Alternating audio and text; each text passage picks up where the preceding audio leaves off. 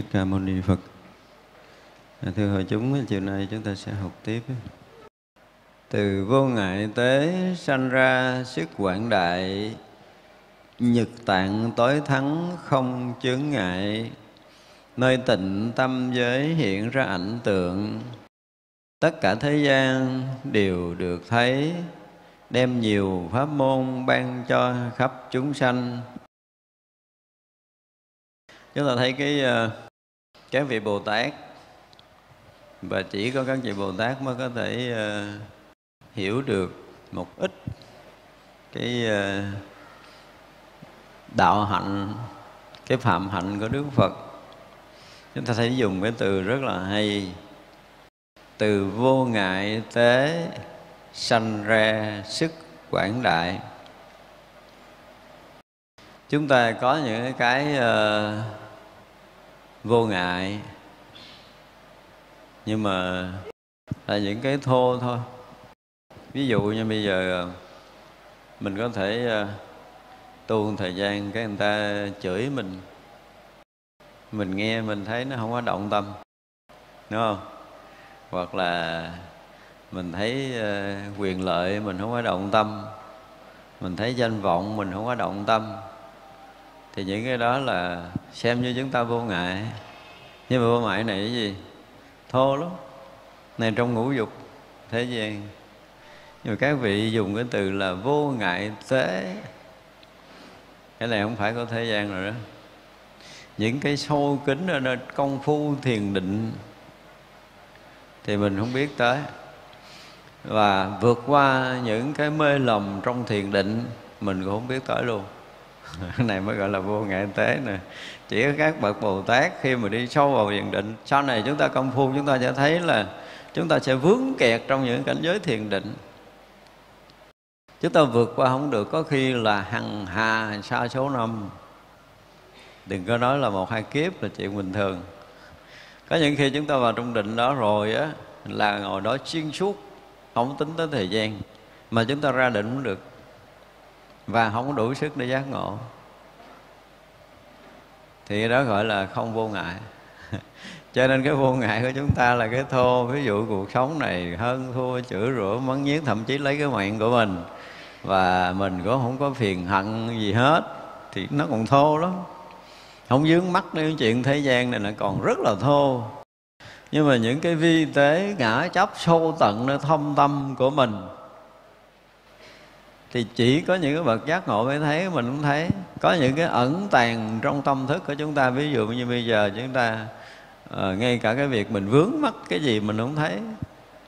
Nhưng mà chư vị thánh hiền thấy được mới được gọi là giác ngộ là ta phá vỡ tất cả những cái mê lầm trong sanh tử những vi tế hoặc những trần sa hoặc những cái hoạt nghiệp.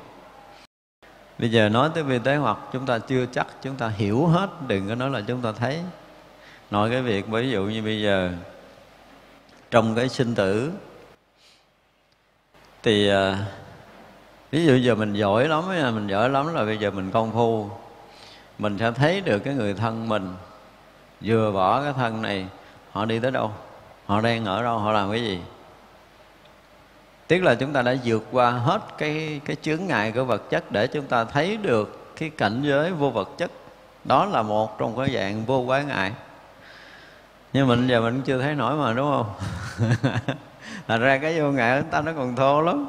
Ở đây Thế đó là chỉ có các vị Bồ Tát mới có thể khen Phật những cái câu mà thật lành, tình là cả một cái đời của mình tu, mình tưởng tưởng không ra nữa. Trong cái vô ngại vi tế, và người nào mà đạt tới cái vô ngại vi tế, ví dụ như bây giờ những cái ngưỡng cửa của thiền định nha. Chúng ta từ à, từ thô tế, từ thô phù của ngũ dục, tâm. Chúng ta hiện tại bây giờ là có những tâm thô phù của ngũ dục. Bây giờ tự động lúc chúng ta thiền định là chúng ta vượt qua cái cảnh giới của cái danh thôi. Là suốt đời này danh lợi không có dính với mình. Thì vậy là trong lúc mà công phu chúng ta qua cái ngưỡng cửa của danh mình thấy được cái cảnh vi tế đó đó. Nghe chưa? Chúng ta vượt qua cái cảnh ờ, của tài, của sắc, của danh, của thực thì là những cái bước vi tế đó chúng ta thấy. Và tới khi mà tâm chúng ta hoàn toàn dứt hết năm cái dục này để chúng ta đạt được cái định ban đầu là sơ thiền, là chúng ta thấy cái cửa ngõ cơ thiền nó mở ra. Thấy rõ ràng giống như từng bước một mình bước ở trên thảm này thì cái đó mới gọi là sức vi tế của công phu. Dùng cái từ vi tế là chúng ta thấy là gọi là ba ngàn quan nghi tám môn cái tế hạnh đó là một người mà làm bài thi, chỉ cần nói về ba ngàn quan nghi tám môn tế hạnh. Thôi, không cần đâu, nói gần trăm quan nghi trăm tế hạnh. Là không đủ sức để nói rồi.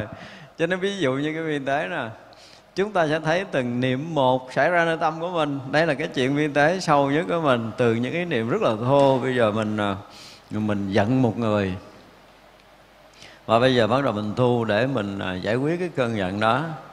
Thì từ cơn giận 10 nó xuống còn 9, nó xuống còn 8, xuống còn 7, còn 6, còn 5 chúng ta thấy và khi cái này nó dứt ở nội tâm của mình. Và người đó xuất hiện trước mặt mình là mình không còn một cái gợn li ti nào nơi tâm thức về cái việc buồn giận người này nữa. Đó là gọi là vô ngại tế. Đó có những cái tế này là được gọi là thô á. Nhưng mà mình thấy còn chưa hết ra đó với chư vị thánh hiền mà vô ngại tế là kinh khủng lắm. Chúng ta không có đủ cái tầm để chúng ta hiểu và không có đủ sức để khen đức phật như vậy đâu. Cho nên trong kinh đức phật nói là khen đức phật là thế này thế kia là chưa đủ. Ví dụ như khen đức phật là người à, xuất ly à, à, bỏ gia đình sống không gia đình sống ở nơi rừng sâu núi thẳm bao nhiêu năm khổ hạnh bao nhiêu năm tầm đạo. Nói vậy thì chưa phải là khen đức phật nếu mà khen đức phật là phải khen cỡ các vị bồ tát này nè. Đã vượt qua tất cả những vi tế. Ví dụ nha bây giờ à, tự dưng bây giờ người ta bịt mắt mình. Ta chở đi thả vào một cái vùng nào đó rất là kinh khủng. Chung quanh là với bao nhiêu cái tiếng kêu của những cái loài thú độc. Nghe là rợn người liền. và chỗ đó tối tăm không ánh đèn, không ánh sáng mặt trời, không có thể thấy đường để đi đâu hết đó lúc đó chúng ta làm sao? Những cái cơn sợ hãi nó nổi lên. Từng đợt từng đợt những cái sợ hãi, những cái tiếng kêu hải hùng của tất cả các loài thú độc. Như vậy là nếu chúng ta vượt qua những cái này, vượt qua cái tâm sợ hãi mình thôi, trước những cái nguy hiểm rình rập để lấy cái mạng mình thôi, thì cái đó mới là do quái ngại thô thôi. Về vật chất này nó chỉ là cái thô, sự mất mát của thân mạng nó cũng là cái vô quái ngại của cái thô. Như lần này chư Phật đã vượt qua những cái ngại, những cái chướng ngại ở trong những cái khúc mắc tâm linh, những cái cảnh giới mà lạc lõng giữa thiền định, giữa chánh và tà định.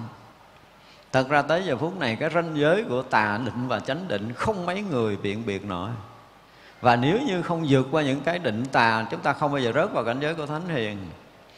Cho nên khi đi vào định á, mà tâm chúng ta đang lệch đường tà và nếu bước một bước nữa là chúng ta sẽ rời hẳn tam bảo thì cái người mà có cái cái trí tuệ có cái thiện căn đối với Phật pháp đồng thời có cái trí tuệ đối với Phật đạo thì vừa lệch tí là người ta biết điều chỉnh tâm mình để trở lại tránh quý vị không tưởng tượng nổi là đi vào thiền định điều khiển cái tâm mình còn hơn điều khiển chiếc xe chạy trên đường cao tốc nhiều lắm. Ở ngoài thì mình thấy nó bình thường, ở ngoài thì rất là bình thường. Khi chúng ta chưa tu, chúng ta thấy là cái chuyện tu tập chắc dễ lắm, không có khó đâu. Nhưng mà đi sâu vào nội tâm, khi mà chúng ta đã loại trừ hết những cái thô phù của cái tâm mà dính mắc trong ngũ dục, chúng ta bắt đầu rớt vào sơ thiền rồi thì rớt vào cái cảnh hỷ lạc vô biên đó đó, chưa hẳn là chánh pháp. Thì như vậy là đủ cái thiện căn phước đức và nhân duyên để nhận định là bắt đầu vượt qua tất cả những cái đó, đã rớt vào cái cảnh không trước khảo trước khi rớt vào cảnh sơ thiền, là chúng ta dứt hết những cái vướng chấp ở trong trần tục. Chúng ta rớt vào cái phản rỗng đó trước, và phản rỗng này là không phương hướng không phương hướng nó có một phản không phương hướng. Và nếu như cái thiện căn chúng ta không đủ là chúng ta sẽ bị lệch hướng cái chỗ không này. Nó phải mất hút cái dục mới bước tới một tầng mới. À, không có đơn giản đâu.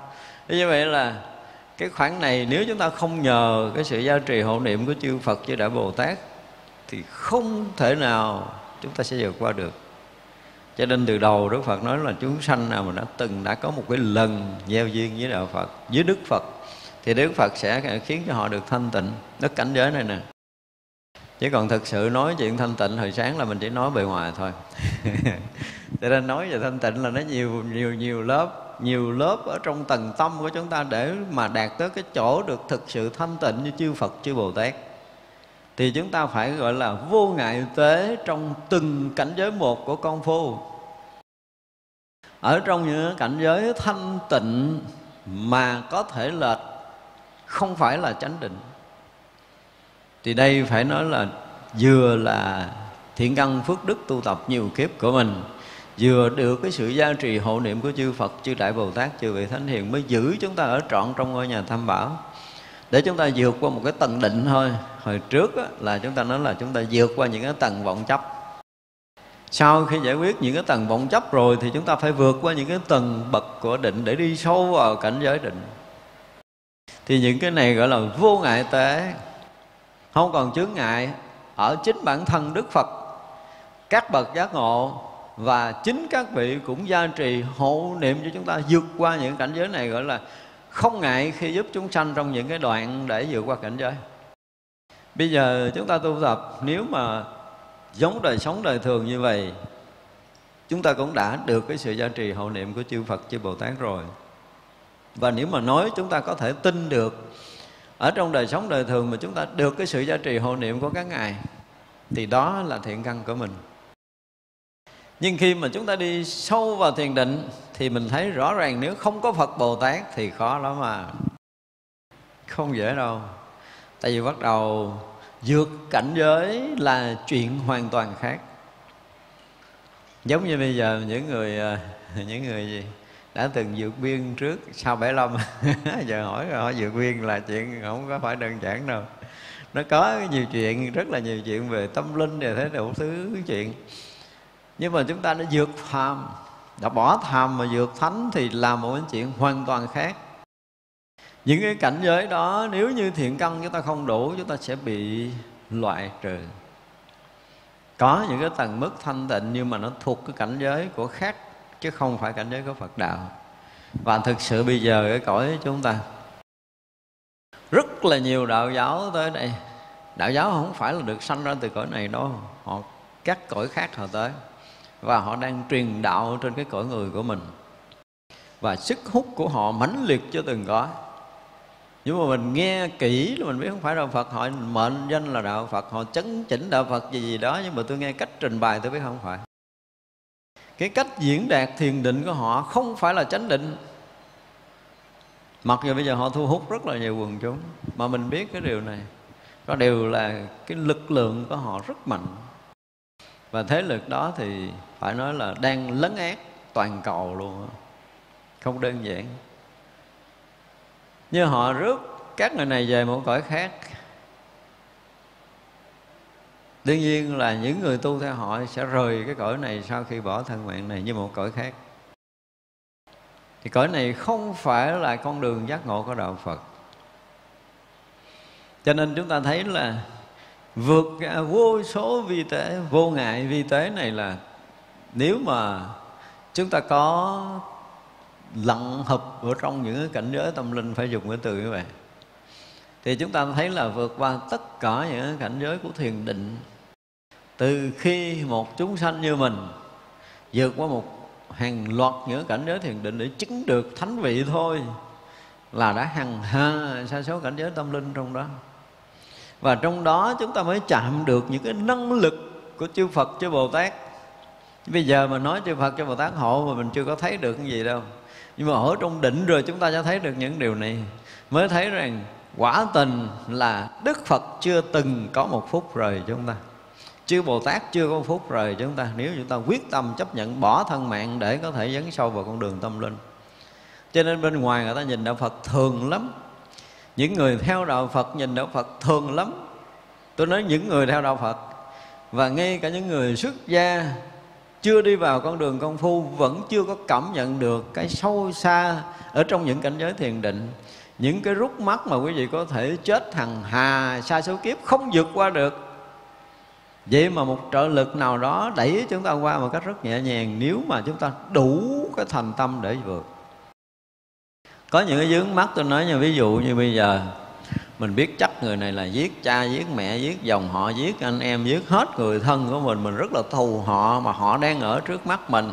Họ nhẫn nhơ tới mắt mình và mình đủ sức để có thể ra tay để trả cái mối thù đó. Và cứ tối ngày cứ nhan nhãn họ trước mắt rồi không bao sao nguôi được cái cơn giận mình không sao mình tháo gỡ được. Và chắc chắn là sống để bụng mình, chết mang theo mình không thể gỡ ra suốt cuộc đời này thì cái dướng mắt đó, tôi nói là bằng một phần tỷ của cái dướng mắt của tâm linh thôi. Có những cái khúc quanh của tâm linh, quý vị không bao giờ có thể ngơi nghĩ được. Ví dụ như hận người ta thì mình ngủ, mình có thể quên. Và nếu cho mình không quên, mình nằm trên bao đi mà mình vẫn ngủ. Đúng không? Có nghĩa là mình tạm lắng quên cái chuyện này. Còn khi mà đã tới những cái khúc quanh của tâm linh là quý vị y như cái móc câu mà móc đúng cái cái cái trán của mình. Mình không có nhúc nhích được. Có đôi lúc là đấy là khóc ra máu nước mắt để lại Phật xin tha cho con hai giây để con nghỉ ngơi thôi, cũng không được nữa. Đó là những khúc quanh tâm linh mà nói là chỉ có nước là rơi lệ thôi, chứ không có nói được, không có có thể tâm sự được. Không có những vị thầy tâm linh cao không thể gỡ mà ra những cái phút giây này và cuộc đời mà ai bị vướng vào những cái chỗ này rồi chúng ta mới thấy rõ ràng là con đường Phật đạo không phải dễ để mà qua.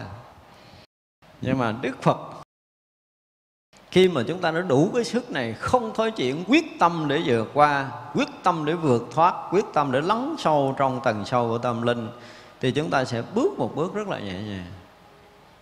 Nhưng mà ít lắm là cũng phải năm, bảy tháng. Và năm, bảy tháng đó quý vị sẽ thấy là cuộc đời mình không bao giờ có thể thay đổi được. Nếu mà nói đó là tầng địa ngục thứ 18 là chấp nhận bó tay để mà ngồi trong đó thôi. Và có đôi lúc mình cảm giác là cái tầng địa ngục thứ 18 chưa khổ bằng cái khúc quanh này. Tay rỡ không ra, không nhúc nhích được, nó bế tắc một cách toàn triệt. Mình tưởng tượng như mỗi người mà như mình đóng một cái hộp khoảng năm tấc thôi để nhét mình vô và đậy trên đầu để chân là không nhúc nhích được. Hay bó rọ trong đó. Nhưng mà tôi nói cái chuyện khổ đó còn thua một phần tỷ của cái kia nữa. Cái kia là một sự bức bách đến mức độ cao tột, không suy chuyển được tâm thức của mình. Tiến không được, lùi không được.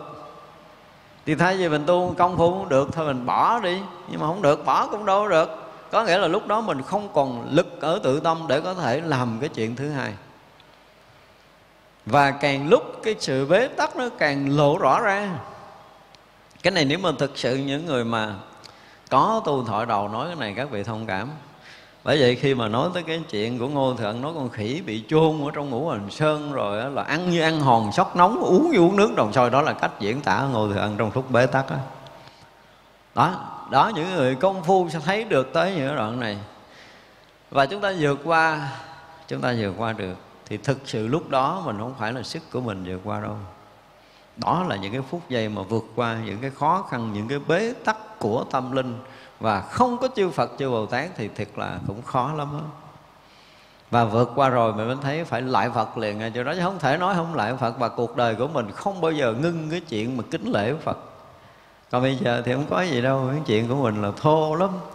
Cái chuyện mà vượt qua chuyện sống, chuyện chết, chuyện bệnh hoạn này nọ đơn kia là nó thô lắm, chứ không phải gọi là vô ngại vi tế. Và phải vượt qua những cái tầng bậc vi tế của tâm. Ví dụ như từ mà sau một khi hành giả tu vượt qua được cái tướng là sắc thọ tưởng ở cái tướng gọi là tứ đại, tức là sắc quẩn thì khi mà ở trong cái cái đoạn cuối của cái sắc là không, thấy vậy chứ đâu phải đơn giản đâu. Chúng ta không có đủ cái thời gian để có thể diễn tả hết cái cảnh giới sắc là không.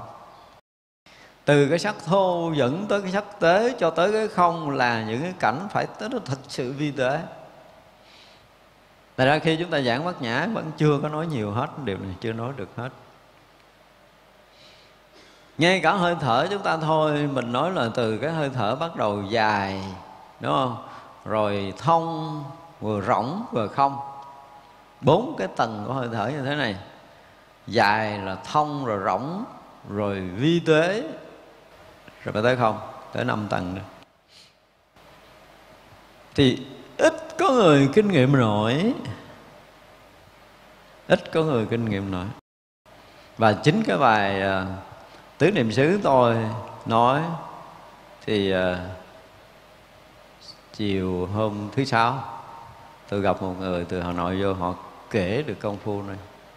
Cũng là món quà món quà này mình đang rất là chờ đợi. Thì ông nói là bây giờ á thì nếu mà nói hít thở theo cái kiểu diễn tả của thầy tôi hết được tôi hỏi là một hơi thở thở được bao nhiêu một tiếng hồ thở mấy hơi, ông nói là nhiều nhất là 10 hơi. Tuy vậy là ông hít vô và thở ra là coi như là 6 phút. Tôi nói vậy là cũng khá rồi. Ông nói khá chứ thuộc cũng cao thủ rồi chứ không có khá đâu. Tôi cao thủ rồi. Và khi mà đạt được như vậy thì ông thấy nhiều chuyện vui, có nghĩa là ông có thể thấy được đi vòng chùa, mình thấy dưới đất có cái gì nữa và ông có thể làm việc mệt. Rồi ông chỉ cần mấy hơi thôi là giải quyết xong. Ông muốn xả ở dưới chân thì ông xả, muốn xả khí ở bụng, muốn xả muốn xả trên đầu, muốn xả để rỗng cái thân này giờ nào cũng được. Mặc dù đó chưa phải là cảnh giới sắc là không, nhưng mà về sắc họ cũng đã làm chủ, tức là sử dụng được những cái hơi thở mà mình nói. Ở nói hơi thở bốn thì thầy thầy nói vậy để tôi chờ coi có người thứ hai nói như tôi không? Có nghĩa là rất là khó có thể sử dụng và đạt được hơi thở bốn thì cái kiểu của mình nói. Chứ không phải là làm không được. Nhưng mà tôi nói là đây là những cái kinh nghiệm khi mà có cái người nói chuyện này rồi tôi sẽ nói sâu về cái chuyện hơi thở nữa. Nhưng mà tứ niệm xứ thời trước mình nói rồi, tức là mình chỉ màu đầu thôi. Mặc dù lý luận của bản kinh tứ niệm xứ là mình chỉ màu đầu thôi. Thì khi một người mà đạt được cái chuyên môn đó là mình đủ sức để nói sâu hơn về hơi thở. Hơi thở nó còn những cái rất là sâu để đi vào thiền định. Và nếu được như vậy thì mình sẽ nói hơi thở của thiền định. Và được nhập định như thế nào, được ra định như thế nào mới gọi là vô ngại. Những cái vô ngại tế khi xử lý hơi thở. Và trong cái cảnh giới thiền định đó thì phải nói tới cái vô ngại của thiền định. Vừa ở cái trong cái tầng định sâu lắng của mình mà do một chút nghiệp cũ nó máy động để bắt đầu nó sinh khởi. Nó là những cái vi tế của niệm bắt đầu máy động sinh khởi thì do cái vô ngại tế của mình thì mình vượt qua được máy động nó để mình lắng sâu hơn nữa. Thì càng lắng sâu trong những cái vi tế tâm thức là lắng sâu vượt qua cái tầng của thọ. Đầu tiên là phải qua được những cái tầng của thọ, những cái vi tế của thọ mình nói cái chuyện là thọ khổ, thọ vui, thọ không khổ, không vui là chuyện rất là thô. Nhưng mà cái thọ lạc và cái thọ trơ ở trong cảnh giới tâm linh đó, nó là một cái tầng khác. Thọ lạc thì mình nghĩ vui, không phải. Nó là một cái sự an lạc ở trong cảnh giới của thiền định. Không phải là thọ khổ, thọ vui nữa mà thọ lạc. Thì vậy là ở trong thiền định nó có những cái tầng bậc của thọ lạc, của chánh, của tà ở trong đó cái cảnh giới mà lạc mà nó không phải là hỷ lạc, nó là an lạc nhưng mà an lạc ở một cái tầng sâu hơn nữa thì cảnh giới này gọi là thọ. Và chúng ta vượt qua thọ khổ, vượt qua thọ vui vượt qua cái thọ không khổ, không vui thô của mình ở bên ngoài. Để chúng ta đi sâu vào những cái tầng sâu của thiền định thì cái thọ mà tạm được gọi là thọ lạc, tại vì thực sự lúc đó nó cái vui kỳ lạ lắm, không có cái có phải là cái rộn ràng của tâm nó không phải là cái cái rộn ràng khi chúng ta tiếp nhận cái niềm vui gì từ bên ngoài, mà từ sâu ở nơi tâm chúng ta. Thì chúng ta nhận được cái sự an lạc đó. Ở trong thất giác chi nó là hỷ, nhưng mà không phải hỷ nữa, nó còn sâu hơn hỷ và kinh an của thất giác chi. Thì cái lạc này là một tầng mà mình phải vượt qua thì đương nhiên là vượt qua cái lạc này nó sẽ có cái lạc mênh mông hơn. Nhưng mà khi mà chúng ta đã bất an cả hằng hà xa số kiếp, bây giờ chúng ta được cái lạc, cái an lạc này rất là khó để vượt qua. Và không vượt qua chúng ta sẽ phải dừng lại. Cho nên đi sâu càng sâu thì nó càng an, càng lạc, càng an, càng lạc cho tới mức độ thanh tịnh. Rồi ra thanh tịnh là một cái tầng rất sâu của tâm linh nói thanh tịnh chúng ta có thể nói suốt đời. Nói suốt đời nó không hết đâu. Đó thì vậy là những cái vô ngại đó chúng ta phải vượt qua, tức là vượt qua những cái tầng an lạc này, qua tới cái tầng an lạc khác, những cảnh giới tâm linh này, qua tới cảnh giới tâm linh khác. Thì quý vị sẽ thấy rằng mình vượt qua một tầng có nghĩa là mình vượt qua một cảnh giới sanh tử, một cõi sống của chúng sanh. À tới lúc đó mình mới thấy ví dụ như vượt qua cái ngũ dục là mình ra khỏi cõi người này rồi khỏi cõi người này, từ cõi người này lên tới cõi trời, nó cũng có rất là nhiều cõi đó, ví dụ như là qua tới cõi Atula, nói tới lục đạo luân hồi, nhưng mà càng thác bà, Atula, khẩn na la, ma hầu, la già gì đó nó cũng tùm lum cõi trong đó và chúng ta không đi theo những cái con đường đó rồi Thế vậy là những cái cảnh giới thiền định là mỗi một lần chúng ta vượt qua một tầng là chúng ta thăng một tầng tâm linh. Thăng một tầng tâm linh là sanh một cõi cao hơn. Đó chúng ta tưởng tượng như lên một lớp, thì lên một lớp, lên một lớp vậy đó. Thì tất cả những cái đó nó đều có những cảnh giới hơn cái cõi người của mình á. Thì nó đã vượt qua cái tầng mà khổ của của người cái tầng vui của người và càng lên cao thì cái tầng an lạc nó càng cao và an lạc cao chừng nào thanh tịnh nhiều chừng đó thanh tịnh nhiều chừng nào thì an lạc nhiều chừng đó. Tức là cảnh giới tâm linh càng lắng sâu thì càng thanh tịnh, mà càng thanh tịnh thì càng thăng tiến những cái tầng bậc tâm linh. Mà thăng tiến những tầng bậc tâm linh, tức là thăng lên những cái cõi, vượt qua những cái cõi thấp để lên tới những cái cõi cao hơn. Và tới mức độ mà thanh tịnh tuyệt đối để có thể chứng được những cái định lớn của các vị thánh trí, tức là phải đạt được cảnh giới của a la hán thì những cái cảnh giới này phải vượt qua nói chứ mà vượt qua nổi cõi trời sắc giới thôi là cũng đã khó rồi. Cái cõi của mình có đẹp gì đẹp, thua cái cõi trời dục giới. Nhớ chưa? Nhưng mà cõi trời dục giới nó cũng là cái đẹp giữa vật chất và tâm linh. Chúng ta cũng thấy những cái cảnh đẹp, ăn uống cũng đẹp, y phục cũng đẹp, nhà ở cũng đẹp và hoàn cảnh nó đẹp cõi người chúng ta không có có đâu. Những cái đẹp đó không thể diễn tả theo kiểu cõi người. Cũng có những người mơ màng, những người ở trên trên đó xuống đây cũng còn dư phước. Rồi cất những cái lâu đài, một số nước có một số lâu đài, nó cũng cất giống giống giống giống những cái cái cung điện của trời. Và vượt qua cõi trời dục giới thì không còn là những lâu đài đó, mà là cảnh giới tâm thanh tịnh những cái cảnh thanh tịnh đó, nó đẹp gấp hàng tỷ những cái lâu đài đang có ở các cõi của mình và các cõi trời. Dục giới. Ở thời sắc giới nó rất là đẹp và toàn là những cái cảnh giới đẹp. Những cái âm thanh, hình sắc đẹp. Chúng ta rất khó vượt qua. Rồi nó vượt qua cảnh trời sắc giới, phải tới vượt cõi trời vô sắc giới. Vô sắc đừng nói là không đẹp mà là một sự an lạc trải khắp gần gần giống như cái cảnh giới diễn tả là trùm khắp cả tam thiên, đại thiên nó giống vậy chứ không phải là không có. Thì những cái cảnh giới mà thanh tịnh, an lạc, phủ khắp đó luôn luôn hiện hữu ở trong cảnh giới tâm của mình. Thì nếu như mình không có vượt qua được những cái ngại này, cái này được xem là liền những cái ngại trong tam giới. Đến đây mới được xem là những cái ngại tam giới ở cái tầng bậc cao. Còn mình đang vướng trong cái ngại của dục giới mình ra không được thì những cái kia mình không có bàn sâu đó thì vậy là chư Phật, chư Bồ Tát vượt qua hết những cái chướng ngại này mới đạt được cái cảnh giới là vượt ngoài tam giới mới chứng thánh quả. Và rồi khi chứng như thánh quả a la hán cho tới khi thành phật thì đã vượt qua hằng hà, sa số những cái tầng bậc thánh hiền nữa. Chứ không phải chứng a la hán là như phật được.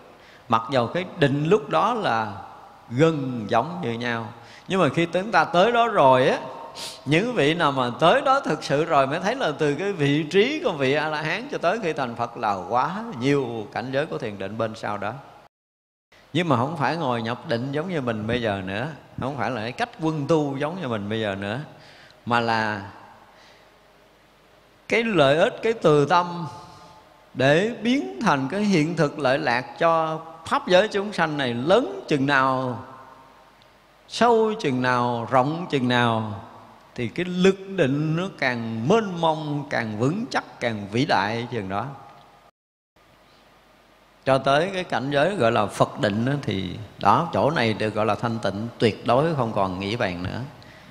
Thì thanh tịnh tâm tới cái cảnh giới Phật phải vượt qua tất cả những cái viên ngại tế thì nó sẽ ra cái sức gọi là quảng đại. Ở đây dùng cái từ hay lắm vượt qua vô ngại tế để sanh ra sức quảng đại.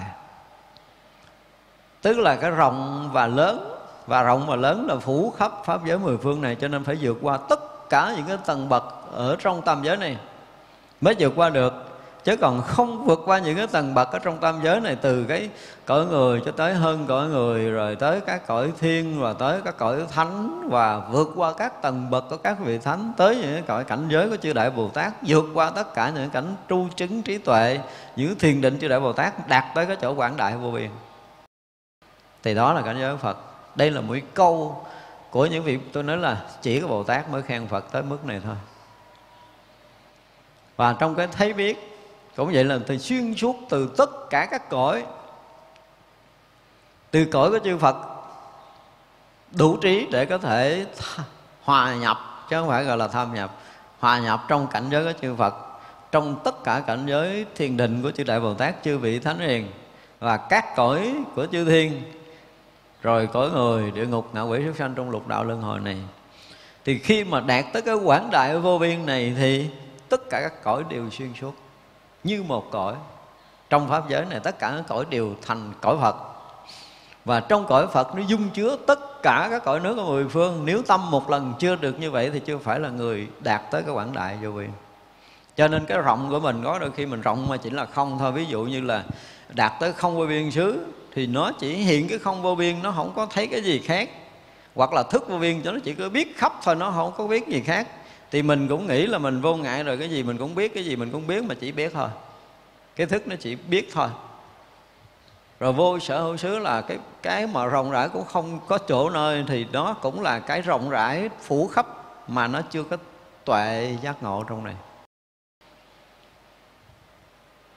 Cho tới phi tưởng, phi phi tưởng sư thiền, thì vừa có, vừa còn sanh một chút cái tưởng của ngã chút tưởng thôi chứ không phải như bây giờ bây giờ là thô lắm. Bây giờ là mình đang rất trong cái tầng tầng tưởng.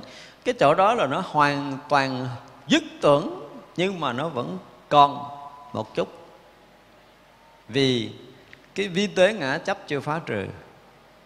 Cho tới cái việc thọ, tức là cái thọ có nghĩa là cái cái thọ ngã, chứ không phải là cái cảm thọ khổ, thọ vui nữa. Không có thọ lạc luôn. Thọ lạc sâu, thọ lạc cạn cũng hết, mới gọi là diệt cái thọ và lúc đó không có còn cái, thọ rất là không còn nhận bất kỳ cái gì trong tam giới này. Và cái vi tế nhã chấp không còn nhận nữa. Mới gọi là diệt thọ. Và hết cái thọ đó rồi thì tưởng sẽ mất. Thì tất cả những cái mà liên quan tới tam giới này là rớt trong cái tầng của tưởng từ có. Rồi cái có đẹp hoặc là cái không vô biên gì đó là nó vượt qua hết thì mới đạt được cái định. Kết quả là hãng thì tất cả những này phải vượt qua, mới gọi là vô ngại vi tế. Cho nên dùng cái từ là vượt, từ cái vô ngại tế mà sanh ra sức quảng đại. Một câu nói này phải, nếu như mà cái người có đi sâu vào công phu thiền định là ghi vậy đó để lên bàn thờ lễ. Phải nói như vậy đó. Tại vì hằng hà xa số kiếp công phu mới đủ sức vượt qua vô ngại vi tế mà sanh ra cái chức quảng đại. Tức là lúc đó có lực rộng lớn, tuệ rộng lớn, từ rộng lớn và đạt tới cái ngôi vị phật. Mình đó là mới đi vào đạo, mình chưa có tu. Cho nên đó là đối với đức phật, chúng ta hiểu còn gọi là miên man lắm nếu mà chúng ta thực sự đi vào con đường công phu, còn cái chuyện học thức là mình không bàn. Học thức là nó chỉ là cái người mà chơi dạo ở trong cái tầng tâm thức để mà có kiến thức này, kiến thức kia của Phật pháp rồi đi rao giảng đầu này rồi kia, chuyện đó chúng ta không bàn. Nếu chúng ta thực sự đi vào công phu để chúng ta phá vỡ được tâm thức mình một tầng nhỏ thôi, để thấy bằng cái lau nhọc công phu để có thể phá một tầng vọng tưởng, chúng ta vượt qua cõi giới phàm của mình thôi thì chúng ta không biết để đức phật ở đâu để lại. Không biết lại cái kiểu gì mình cũng cảm giác chưa có thỏa. Cái ơn của đức phật nó lớn, không còn dùng ngôn từ để tả nữa, mà nếu mình được sinh ra muôn vạn kiếp về sau để phục vụ cho đức phật, chúng ta cũng nguyện sinh ra mà phải nói là lót chân để đức phật làm dài, làm dép để mang, chúng ta cũng phải làm hằng hà sa số kiếp. Mình chưa cảm giác nó thỏa nữa nó kinh khủng lắm. Nếu mà chúng ta đi vào công phu, chúng ta mới thấy điều này. Cho nên không có nói là thương phật, quý phật theo cái kiểu của cái tâm thế gian nữa, mà đức phật nó trở thành tủy não gì của mình á. Một chút nghĩ ngợi của mình, một chút suy tưởng của mình là tất cả những cái đều muốn đem hết tất cả những quý nhất của mình mà dâng cúng cho đức phật. Bao nhiêu cái trân quý nhất, cái thọ mạng, cái gì cái gì của mình muốn cúng hết, chưa có thỏa mãn đi sâu cho công phu mới thấy phật bồ tát là gì? Phải nói một câu gì đó. Còn chúng ta lơ lơ lắm. Nhiều khi bây giờ lễ phật còn làm biến đó, tụng kinh lễ phật là biết dễ sợ luôn mình nhìn thấy biết rõ ràng là tội cho mình thôi chứ không có tội cho ai thật sự thì mình chưa có đi sâu được trong công phu mình chưa có nếm cái hương vị của phật đạo cho nên mình thấy đạo phật với mình là một cái gì vẫn còn là bề ngoài. Khi nào mà tất cả những cái gì của đức phật là trở thành thành tủy, thành máu của mình. Thành hơi ấm, thành nhựa sống của mình. Không có nói chuyện cách ly nữa mà nó là một cái gì tuôn chảy, nó cái gì nóng ở nơi tâm, nơi thân của chúng ta. Chúng ta không còn cách ly được, không còn rời được nữa, thì lúc đó mình mới thấy rằng cái dòng chảy ở nơi thân, nơi tâm của mình là lòng chảy của Phật được Phật sanh ra thực sự mình mang dòng máu của Phật thực sự rồi lúc đó mình mới cảm giác mình là lúc đó mới thật là Phật tử. Còn bây giờ thì chưa. Giờ là Phật tử nhưng mà giống như là cái gì đó là mình tự được cái danh đó thôi chứ chưa có thật được sanh trong ngôi nhà tam bảo. Tới một ngày mà chúng ta thực sự tha, sanh trong ngôi nhà tam bảo rồi chúng ta mới thấy từng câu từng lời của phật cho bồ tát một câu nào cũng xứng đáng để chúng ta có thể thờ cả hằng hà sa số kiếp. Chúng tôi nói thờ hằng hà sa số kiếp chứ không phải một đời của mình. Thờ một đời của mình không có dính dáng gì hết. Nữa đó, những cái câu như thế này nè. Nghe thì nó đâu có gì, đúng không? Nếu mà chúng ta đọc không thấy gì. Nhưng mà chừng nào chúng ta đọc những cái câu này mà chúng ta bị chấn động thực sự kìa, thì mới thấy đây là những cái lời nói quá sâu của những vị mà đi quá sâu trong chuyên môn của Phật đạo. Để họ cảm được cái gì của Phật đã từng vượt qua trong công phu. Chứ còn bỏ gia đình sống không gia đình rồi ở ẩn trong rừng sâu rồi à, ăn chay nằm đất là tu hành khổ hạnh gì gì đó chưa? Chưa nói vậy là mới ghê nè nói cỡ này gọi là khen phật đúng mức nè. Để vượt qua những cái viên tế để sanh ra cái sức quảng đại đạt được những thiền định rất sâu mở được cái tuệ lớn và cái đại bi tùm khắp pháp giới này. Thì đó mới thực sự là lời nói của đứa con ruột khen cha. Mãi hôm nói tới đây mình mới nói vậy đó. Vậy chứ đã bồ tát là thuộc về con ruột rồi, mới đủ sức thấy được cha già mình làm chuyện gì để có thể đạt được phật quả. Chứ còn mình không có hiểu là đức phật từ khi tu để thành phật, nghe trong lịch sử mấy năm tầm đạo, mấy năm khổ hạnh, đâu phải tu nhiêu đó thành phật cho được. Tu nhiêu đó không thể thành phật. Đời có bao nhiêu năm tu có đâu có nhiêu, nhưng mà đó là những cách để một vị bồ tát thể hiện trong đời sống của người phàm. Thì trước khi mà thành tựu cái gì phải trả những cái giá, phải đắt cả chừng đó à. Nhưng mà như vậy đó, đức phật nói là gì? Trong lịch sử nhân loại trước ta, vô số kiếp không có anh nào khổ hạnh như ta. Và sau này cũng vậy, kiếm anh khổ hạnh như ta không có. Đó nội cái khổ ở cái cõi người thôi mà một vị đại bồ tát đủ sức để thể hiện cái vượt khó vượt khổ vượt cái chướng ngại để mà thành tựu đạo quả là loài người cũng không có. Không ăn không ngủ vì đạo trải qua nhiều năm tháng mình không ngủ mấy ngày là mình thấy mình sợ chết rồi. Mà không ăn nhiều ngày thì đi đứng không nổi rồi đúng không? Cho tới mà cái cái cái nhựa sống không còn đụng đâu lỡ đó rồi. Mà vẫn quyết liệt để đi đi, đi tới không bao giờ. Cái ngại thô đó thôi mà chúng ta còn vượt qua không nổi. Nhưng mà các vị Bồ Tát cũng đủ sức thấy những chuyện này. Đó cũng là chuyện thô. Các vị Bồ Tát còn không muốn nhắc tới. Không muốn nhắc tới những cái mà vô ngại tế. Cho nên ở trong Phật đạo, người ta, khi mà người ta đã vượt qua những cái vô ngại, những cái chướng ngại ở trong cái cõi này rồi mà khi họ trở lại đó, thì ở cõi này không có còn cái gì làm chướng người ta được mặc dù người ta giả bộ âm thầm ta sống chơi cho vui, còn mạng mất mạng không phải là cái chuyện ngại của người ta. Không phải là cái chuyện ngại. Được hay mất trong cái cuộc đời này không phải là cái chuyện ngại, mà ngại là, chỉ còn cái ngại là nhập cảnh giới chư Phật, lẹ làng nhanh hơn cái khải móng tay được hay là không, đó là cái ngại. Chứ còn không có cái gì là cái ngại hết đó. cho nên khi mà các vị càng đi sâu chừng nào thì cảnh giới chư Phật là cái mà các vị muốn tới, mà cái mà các vị muốn tới thì các vị phải vượt qua hằng hà xa số những cái cảnh giới thiền định. Nhưng mà ở đây diễn tả là Đức Phật đã vượt qua hết tất cả những cái đó để sanh ra cái quảng đại. Và được cái gì nữa? Nhật tạng tối thắng. Tức là gì? Nói cái cái cái cái nhật tạng mình là tưởng tượng như cái mặt trời, đúng không? Là một ánh sáng để chiếu khắp. Nhưng mà cái này là cái hàm vàng, cái sự dung chứa, cái sẵn có, cái sáng suốt nhiệm màu vốn có ở trong cái pháp giới này. Thì khi mà nó đạt tới cái quảng đại vô biên đó rồi, thì cái vị đó lại đạt sâu trong cái cảnh giới nhiệm màu của tự tâm tâm thanh tịnh trùm khắp pháp giới.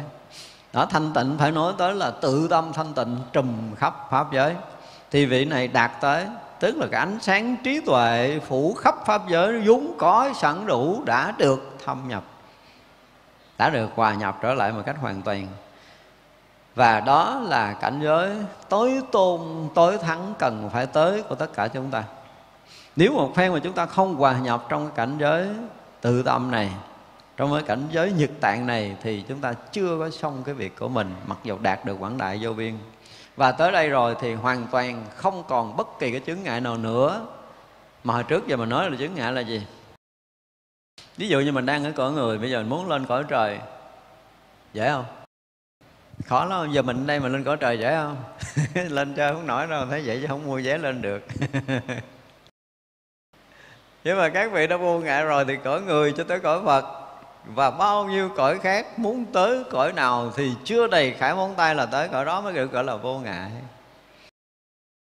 Thâm nhập tất cả các cõi cho tới cái mức độ không phải là thâm nhập nữa mà, cái gì đã biến hiện hằng hà xa số thân, đi đến hằng hà xa số cõi để chứng thành hằng hà sa số vị Phật để cứu độ hằng hà sa số chúng sanh. Đó là mới mới là vô ngại thật sự thì khi mà một người mà đạt tới cái cảnh giới mà vô tận của tự tâm à, đạt tới cảnh giới mà nhật tạng tối thắng vô ngại này thầy các vị đủ sức để có thể làm chuyện này thì lúc đó mới gọi là không còn chướng ngại nữa. Thành ra trong cuộc sống này chúng ta có vượt được những cái vướng mắc trong tầng trần tục này thì cũng là cái chuyện nhỏ của thế gian chuyện mình không đáng bàn. Chuyện mình thật sự là không đáng bàn ở đâu hết dù cho ví dụ như bây giờ mình có một cái buổi giảng thuyết cho tới hết 8 tỷ người trong cái cõi này nghe, và trong đó có khoảng một phần tỷ người trong số đó được ngộ và chứng quả a la hán đi, ví dụ vậy, thì cũng là chuyện rất là nhỏ. Cho tới một phần mười số người đó chứng quả a la hán đi nữa cũng là chuyện rất là nhỏ không có so được với cái tự tại này. Sức tự tại đó tự có thể thâm nhập tất cả các cõi và tự có thể khai thị để giác ngộ hằng hà sa số chúng sanh trong một khải môn tài thôi. Chứ không phải là một bài pháp, thuyết pháp để bao nhiêu người nghe nữa. Và cái lúc đó là cái sự chuyển pháp của chư Phật, chư Đại Bồ Tát là không có cõi nào không nói cho nó nghe được, không có cõi nào không chuyển tâm được, không có chúng sanh nào không khai thị được không có người nào chư Phật không chuyển hóa được mới được gọi là tự tại. Tại vì khi mà đã đạt ngộ rồi thì cái lòng từ các vị rất là lớn. Trí tuệ tới đâu, lòng từ tới đó. Và trí tuệ thì phủ khắp pháp giới thì lòng từ phủ khắp pháp giới. Cho nên tất cả chúng sanh nhỏ nhất như mình cũng đang được hưởng cái ân phước cái tâm từ của chư Phật. Và chúng ta cũng đang được chuyển hóa thì lực tự tại để chuyển hóa của chư Phật đang gắn lên tất cả chúng ta.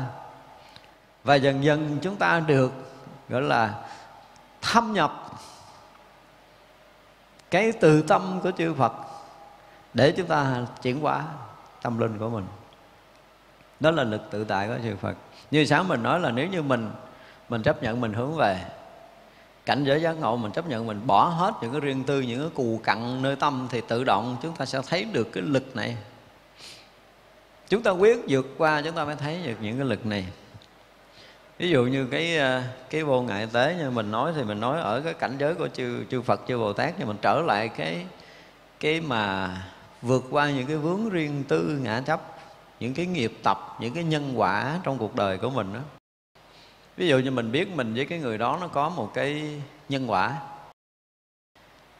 Thì à, chúng ta quyết lòng để giải quyết nhân quả đó trong đời này.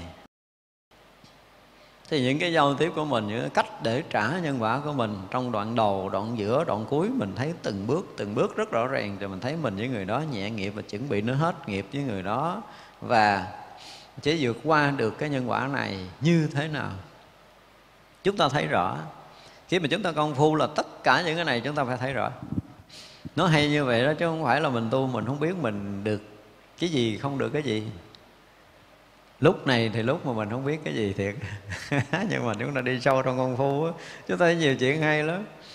Những chuyện mình thấy là nếu mà trước kia mình không tu á, hả, là cái chuyện này mình, đời này là coi như xong rồi đó.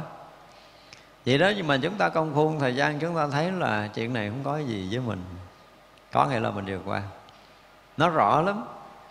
Thật ra mọi chuyện mọi chuyện chúng ta vượt qua, nhưng mà mình không có đủ sức là không còn chướng ngại giống như chư Phật, chư Đại Bồ Tát nữa. Nơi tịnh tâm giới hiện ra ảnh tượng. Tịnh tâm giới này không phải là giới định huệ mà cái tâm thanh tịnh, cái giới là cái gì? Là vô biên giới. Nó không có ranh giới, nó không có ngàn mẻ. hiểu không? Tâm thanh tịnh, nó không có ngàn mẻ gọi là tịnh tâm giới nghe tịnh tâm giới cái mình tưởng là giới nó không phải như vậy. Tức là do ở tâm thanh tịnh của mình. Và chính cái tâm thanh tịnh này là vô lượng, vô biên, cho nên không có ngàn mé không có thể cân đo đồng điểm, không có thể đo lường, không có thể tưởng tượng được. Thì đó được gọi là tịnh tâm giới. Và chính cái tịnh tâm giới này hiện ra tất cả ảnh tượng cho nên mỗi câu ở trong bát nhã mình là gì? Này xá lợi phất Tại sao ngay nơi hiện tiền này, tất cả các pháp đều hiển lộ từ không tướng. Cái không tướng chính là cái tịnh tâm giới. Cho nên hiện ra tất cả ấn tượng. Do đó, khi mà tất cả ấn tượng đang hiện ra như thế này là hiện ra từ tịnh tâm giới. Tất cả các pháp đều hiển lộ từ không tướng. Không tướng. Nó mới hiện ra được cái tướng này. Thật ra là những cái câu nói của chư Bồ Tát chúng ta thấy tuyệt vời. Từ tịnh tâm giới. Ở nơi tịnh tâm giới hiện ra tất cả những ảnh tượng. Như vậy là khi mà chúng ta thấy, chúng ta nghe Chúng ta nhận biết Thì từ tịnh tâm giới mà nhận. Cho nên cái thanh tịnh mà chúng ta nói là nói hoài, nói cả đời. Không cái thanh tịnh này nó mới làm hiển lộ tất cả các tướng mới đạt tới cái thanh tịnh tuyệt đối thì ở đây chư bồ tát cũng nói là từ cái tịnh tâm giới hiện ra tất cả các ảnh tượng. Do đó mà nếu như bây giờ chúng ta muốn tạc tượng phật để thờ, thì phải coi cái người tạc tịnh tâm tới đâu cái đó. Do cái tâm tịnh người đó tới đâu, người ta mới tạo ra được cái tượng phật theo cái tịnh tâm và cái yêu quý đức phật của người đó. Như vậy là chúng ta không có tạc đúng cái tượng thật của đức phật là cái gì? Thì do cái tưởng của mình do cái sự quý kính của mình hướng về đức phật do cái tịnh tâm của mình cộng vô nữa. Thì vậy là từ cái lòng quý kính do cái tịnh tâm do cái hiểu biết về 32 tướng tốt 80 vẻ đẹp Đức Phật mình cộng vào đó để mình tạc một cái tượng Phật Tức là hiển lộ thành cái tướng Thành ảnh tượng để mình thờ. Thế là mọi cái hiện tướng, mọi cái ảnh tượng trong thế giới này trong tam giới này Đều xuất hiện từ cái tịnh tâm. Vậy Cho nên nếu chúng ta phàm phu Thì ngồi mà không nói chuyện như thế này buồn chết luôn. Đúng không? Ví dụ như bây giờ mà ông thầy ông không nói mà mình vô nãy giờ mình ngồi nửa tiếng đồng hồ đây mình không có chịu nổi đâu. Lý do tại sao? Nếu như bây giờ cái tịnh tâm chúng ta thực sự tất cả chúng ta ngồi đây đều cái tâm tịnh thì cái hội tường này càng lúc càng thanh tịnh, càng an lạc, càng yên lặng, đúng không? Nhưng mà tâm chúng ta không thanh tịnh, thì chúng ta hiện những ảnh tượng này, ồn ào, xáo động liền. Từ nơi tâm của chúng ta bắt đầu có những cái ý niệm ồn ào, xáo động thì sẽ ảnh hưởng người kế bên nói một câu, bên kia nói một câu, bên này nói một câu, bắt đầu là nhiều nhóm, nhiều chỗ nói là bắt đầu hết cái tịnh tâm. Là nó hiện ảnh ảnh tượng gì? Ồn náo xáo động thật ra là từ cảnh giới tịnh tâm này mà có ra mọi thứ. Nếu như bây giờ chúng ta trở lại cái chỗ tịnh tâm, thì pháp giới này vốn dĩ là thanh tịnh. Nếu tất cả chúng sanh đều trở lại cái tịnh tâm, thì cái sự xáo động nó sẽ không còn toàn pháp giới trở thành cái sự thanh tịnh. Tại ra cái lực thanh tịnh của chúng ta nhiều chừng nào, Thì chúng ta đi sâu vào cái tự tâm thanh tịnh nhiều chừng đó. Và được cộng hưởng Được câu thông, được kết nối với cảnh giới thanh tịnh của chư Phật, chư Bồ Tát, chư vị Thánh Hiền. Thì cái lực tịnh tới đâu sẽ được cái sự an lạc tới đó. Thật ra chúng ta tu mà cái kiểu cái kiểu như mình bây giờ đúng không? À, nó là sáng nắng chiều mưa trưa lạnh lạnh. Chúng ta thấy lâu lâu mình cũng được yên chút chứ không phải không có đâu lâu lâu mình cũng lắng tâm rồi, mình thả tâm gì đó, mình cũng được yên yên rồi, cái mình cũng trở lại. Nhưng mà được vậy cũng quý rồi, chứ nhiều người cả đời cũng không biết cái yên là cái gì. Nhưng mà chưa có phải là cái tịnh, tức là yên, nhưng mà chưa thực sự là thanh tịnh thì chúng ta không có cảm nhận được cái an lạc bên sâu. Càng yên lặng, càng thanh tịnh, càng thanh tịnh, càng yên lặng, càng yên lặng, càng an lạc, càng an lạc, càng thanh tịnh. Nó cứ đi sâu đi sâu đi sâu vậy đó thì như vậy là từ cảnh giới thanh tịnh, nếu mà chúng ta thâm nhập trở lại cảnh giới thanh tịnh đó thì chúng ta sẽ thấy toàn pháp giới này hiện ra. Những cái ảnh tượng mình thấy ở đây là của cõi của mình. Tôi nói là khi mà chúng ta nói là pháp giới này hiện ra thì không đơn giản là cái cõi của mình. Bây giờ mình tưởng tượng là cây cỏ, lá, hoa, núi, rừng, trời, mây mình thấy thôi. Ví dụ như mình thấy trận cái bầu trời xanh cũng là cõi của mình nhưng mọi người đã nhập trong cái tâm thanh tịnh rồi là một phen thấy được tất cả các cõi sinh hoạt của tất cả các cõi hiện tướng của tất cả các cõi. Chứ không phải nói là là nhưng bây giờ nếu mà nhập vô cái mình thấy hết mà cái mà rõ, rõ ràng mình chưa có tưởng ra cái gì khỏi trời mây này. Trong cái bầu hư không thấy xanh xanh vậy là chúng ta thấy tới đó thôi chúng ta chưa có tưởng ra khỏi cái chỗ này rồi thấy xa xa là một khoảng rỗng rồi, hoặc là chúng ta có thể thấy bầu hư không rộng, hay là thấy biển mênh mông, trời mênh mông, cây xanh, rồi lá xanh gì gì đó tức là có thể thấy được ánh sáng mặt trời, mặt trăng, vân vân. Thì đó chỉ còn lệ thuộc trong cái tưởng của mình. Vượt qua cái tưởng này rồi thì nó không phải là cái bầu hư không mênh mông này đâu cho nên trong kinh thì nói thấy cái hư không giống như là trái cam nằm trong lòng bàn tay, mình tưởng không nổi. Tưởng nổi, tại vì mình còn đang trong cái tưởng tướng, cho nên mình thấy rõ ràng hư không nó mênh mông quá trời. Bây giờ mình nói là tới cảnh giới đó mà thấy hư không giống như trái chanh để trong lòng bàn tay thì không bao giờ chúng ta tin được. Nhưng mà khi chúng ta đã vượt qua tất cả những cái tưởng tướng rồi, chúng ta ở cảnh giới vô tướng thì hư không là thật sự nhỏ với mình thì lúc đó chúng ta mới thấy rằng pháp giới hiện ra không phải là những cái trời trăng mây nước mà mình đang thấy ở đây. Có thấy ở đây thì chúng ta có thấy giỏi lắm thì mặt trời, mặt trăng. Đúng không? Trên cái bộ không và các vì sao li ti đó. Thì nó chỉ là những cái gì ở trong cái hệ mặt trời này thôi. Vượt qua cái hệ mặt trời này là giải ngân hà, giải thiên hà, là mênh mông nữa. Và như vậy là cái vận hành mênh mông của vũ trụ này là một cái gì đó nó rất là lớn lao và nó điều hành tất cả những cái hành tinh trong đó, mặt trời, mặt trăng trong từng cái hệ, mặt trời, những cái thành tinh, những cái hành tinh mênh mông kia. Nó được một cái sự điều hành gì đó mà được gọi là trật tự của vũ trụ này. Chứ không phải trật tự vũ trụ này ra đường là đi xe phải chạy nước này, chạy lề phải, chứ kia chạy lề tái là trật tự cõi phàm.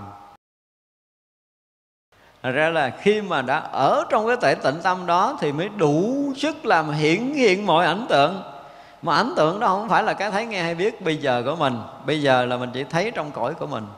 Trong cái loài người đủ cái tầm để có thể thấy trong những cái mà mình đang thấy. Bây giờ là trời đất, trăng sao, vũ trụ, mênh mông này. Nhưng mà dù cho có thấy mênh mông như vậy, vẫn là cái thấy nhỏ nhiệm của cõi phàm. Nên nhớ như vậy, chúng ta chưa rượt khỏi cõi phàm chư thiên cõi trời sẽ thấy rộng hơn chúng ta. Và càng sâu trong thiền định chừng nào thì thấy càng rộng chừng đó. Chúng ta phải nói một câu như vậy để dễ hiểu. Thì như vậy là từ cái chỗ tịnh tâm giới này làm hiển hiện tất cả những ảnh tượng mình nói thì từ trước giờ là bảo đảm chúng ta sẽ hiểu là mình sẽ thấy trời đất trăng sao này, đúng không? Thấy núi rừng hoa, cỏ ờ, cây cảnh thôi thì gọi là đã hiển hiện rồi, nhưng mà không phải. Chuyện đó là chuyện của cõi mình. Cho thấy hết cái quả địa cầu đi cũng là cái cõi của mình. Thấy hết hệ mặt trời đi nữa cũng là cái cõi của mình. Tức là trong cái cái hệ mặt trời hoặc là trong cái tam giới này thì chúng ta chưa có đủ sức để thấy. Nhưng mà khi tâm thanh tịnh đủ sức thì hiện tất cả các cảnh, các cõi một lượt. Mới thấy rằng cái cảnh tịnh tâm là cái gì? Tâm thanh tịnh là cái gì? Mênh mông trùm khắp pháp giới, làm hiển lộ tất cả các tướng trong tam giới này một lượt. Và khi ai nhập định để thấy một lượt tất cả những cái hiện tướng ở trong tam giới này, tất cả những ảnh tượng trong tam giới này, thì người đó mới hy vọng là hòa nhập vào tự tâm thanh tịnh của chính mình. Chứ còn từ trước giờ là mình ngồi tâm mình lặng lẽ, rồi mình được định, mình nghĩ là mình nhập trong tự tâm, thì coi chừng lầm không có ra được. Chưa có tới đâu hết. Chưa tới đâu, không có ra khỏi tâm giới này đâu. Chưa có đủ một con mắt để có thể phá vỡ cái hư không này. Khi nào mà đủ phá vỡ hư không này mới thấy pháp giới này là là một là một cái thấy chứ không phải là một đâu, mà là một cái thấy. Nhưng mà tất cả những ảnh tượng đều hiện ra. Tất cả cõi giới hiện ra. Tất cả cõi nước hiện ra. Tất cả chúng sanh hiện ra. Thì thực sự lúc đó là mênh mông đó, thì đó là từ cảnh giới mà tâm, tịnh tâm giới để hiện ra tất cả ảnh tượng. Tất cả thế gian đều được thấy. Không, cái này câu nói rất rõ ràng là tất cả thế gian đều được thấy. Thì thế gian là cõi của mình. Thế gian là tam giới này được xem như là thế gian. Tất cả các cõi trời đối với chư phật, chư bồ tát được xem là cõi thế gian. Khi vượt qua tam giới rồi mới nói chuyện tại sao hiểu được tất cả những cái này là thế gian. Trong khi mình cõi dục mình chưa ra được ở dục giới này được xem là thế gian rồi. Nhưng mà đối với các vị là trong cõi dục này là nhỏ. À, cho tới cõi trời dục giới vẫn là một cái gì rất nhỏ với một người đã chứng được thánh quả. Thì cái nhìn của các vị là đã vượt qua hết tất cả cõi giới để thấy cái việc đi ra đi vào của tất cả chúng sanh trong cái cõi này. Đi tới đi lui đi lên đi xuống sanh chỗ nào là các vị đều thấy rõ biết rõ hết. Cho nên tất cả thế gian đều được thấy rõ biết rõ đem nhiều pháp môn ban khắp chúng sanh tại vì thấy hết rồi biết hết rồi biết chúng sanh ở cõi nào. Ví dụ cõi người của mình thì thích hợp với cái kiểu gì thì các vị sẽ tới đây. Rồi cõi trời thì thích hợp với cái kiểu gì và tất cả các cõi thích hợp kiểu gì thì các vị đều tới để có đủ phương tiện mà cứu độ tất cả chúng sanh. À, ra trong cái đoạn ngắn này có mấy câu mà chúng ta thấy thực sự là nếu mình không học quan nghiêm, mình không không, từng gặp. Phải nói là chỉ có quan nghiêm mới nói được hết rồi. Đức phật là tạng quang minh vô biên. Tức là đức phật là cái kho tàng, ánh sáng vô biên. Cái cách nói của bồ tát thì thật là nói, phải nói là dùng cái từ là gì? Nói hết chữ. Nói hết chữ thế gian này hết cái ngôn từ để nói rồi. Mà các vị bồ tát thì mới nói đủ cái kiểu mà bồ tát khen phật thì rõ ràng là chúng ta phải phải nên học, đúng không? Đức phật nói khen đức phật câu quá đủ rồi. Đức phật là tạng quang minh vô biên. Tức là hàm tạng là nơi chứa cái ánh sáng vô lượng vô biên. Cái cội nguồn của tất cả ánh sáng, cội nguồn của tất cả trí tuệ. Thì nếu muốn nói đức phật là phải nói tới cái chỗ đó là cội nguồn, là nơi mà dung chứa tất cả những cái gì về trí tuệ về ánh sáng trong pháp giới mười phương này. Những trí lực đều viên mãn. Bây giờ cái trí mình dùng cái từ trí lực đi. Như cái cõi mình à, trí lực mình sao? Bây giờ tự nhiên cái mình à, thèm món ăn gì đó. Và tới đúng cái quán bán cái món mình thèm. Đúng đúng món mình thèm nhưng mà cái trí mình thấy rằng à, bữa nay ăn cái món này không tốt mình vượt qua. Được xem chút gọi là trí lực để mình vượt qua chuyện nhỏ nhỏ đó. Ví dụ như mình đang bệnh à, mà mình là rất là thèm cái đồ lạnh đồ ngọt. Nhưng bây giờ mình đang bệnh mà bị cảm lạnh mà ăn cái này là cái như ho chết đi. Rồi mình dùng trí lực để mình vượt qua. Ví dụ vậy gọi là trí lực kiểu phàm phàm của mình thì lâu lâu mình cũng có. bây giờ cái trí lực để vượt qua cõi phàm. Ừ, là mình không có. Đúng không? Trí lực để vượt qua cái ngã chấp là mình hoàn toàn không có. Còn trí lực để vượt qua tam giới này mình lại còn không có nữa. Cho nên gọi là trí lực có nghĩa là cái thấy biết không còn ngại trong tất cả những cái gì có mặt trong pháp giới mười phương này. Thì mới được gọi là trí lực cho nên mới được gọi là trí tuệ giác ngộ. Cho nên khi người ta đã một lần thấy đúng thì cái lực dụng của cái thấy này nó vượt hết mọi thứ. Thật ra nếu như mà bây giờ mình nói mình ngộ đạo, mình hiểu đạo cái gì đó Mà chúng ta không có vượt qua những cái vướng mắc ở trong đời thường Thì rõ ràng là cái trí chúng ta không có lực. Và trí không có lực thì trí nó thuộc về trí thức trí lực mới là trí tuệ. À ở đây mới học tới trí lực thì chúng ta mới ra được chuyện hay nè. Cái người có trí lực tức là người có trí tuệ. Và vượt qua tất cả những chướng ngại, những cái vướng mắc ở trong tam giới này đó được gọi là trí lực. Còn trí thức thì cái gì cũng có thể hiểu, cái gì cũng có thể biết, cái gì cũng có thể thông mà không có vượt qua cái gì hết. Đó được gọi là trí thức. Đó, thì vậy là mình học cái này mình sẽ ra được cái mới đó cho nên mai mốt mình có thể quyền được quyền giải thích trí tuệ là cái gì trí thức là cái gì. Trí tuệ cũng nói một câu đó trí thức cũng nói một câu đó mà vừa nói ra chúng ta sẽ phân biệt được, được cái lực trí tuệ nói một câu diễn đạt vấn đề vượt thoát. Ông kia cũng nói một câu diễn đạt cái vấn đề vượt thoát nhưng mà kia là cái học lại cho nên trí thức nói nó không có lực. Và không có lực thứ nhất là không đủ sức để chuyển hóa nội tâm của người nói và người nói không có chuyển nội tâm thì không thể nào chuyển nội tâm của người nghe. Nhưng mà trí tuệ khác là cũng là một câu đó, nhưng mà người nghe cảm giác nó có một cái gì đó thấm đượm ở nơi tâm của mình. Người kia nghe trí thức nói cũng có thể hiểu ra được, nhưng mà hiểu của cái kiểu hiểu của trí thức. Và trí thức chỉ chỉ có tiếp nối trí thức, và trí lực mới có thể phá vỡ những cái vướng chấp ở nơi tâm.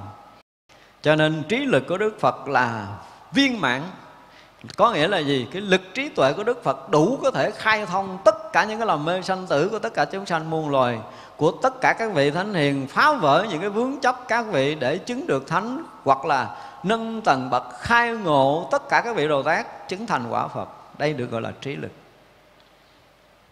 Cho nên hòa thượng gọi là lực sanh.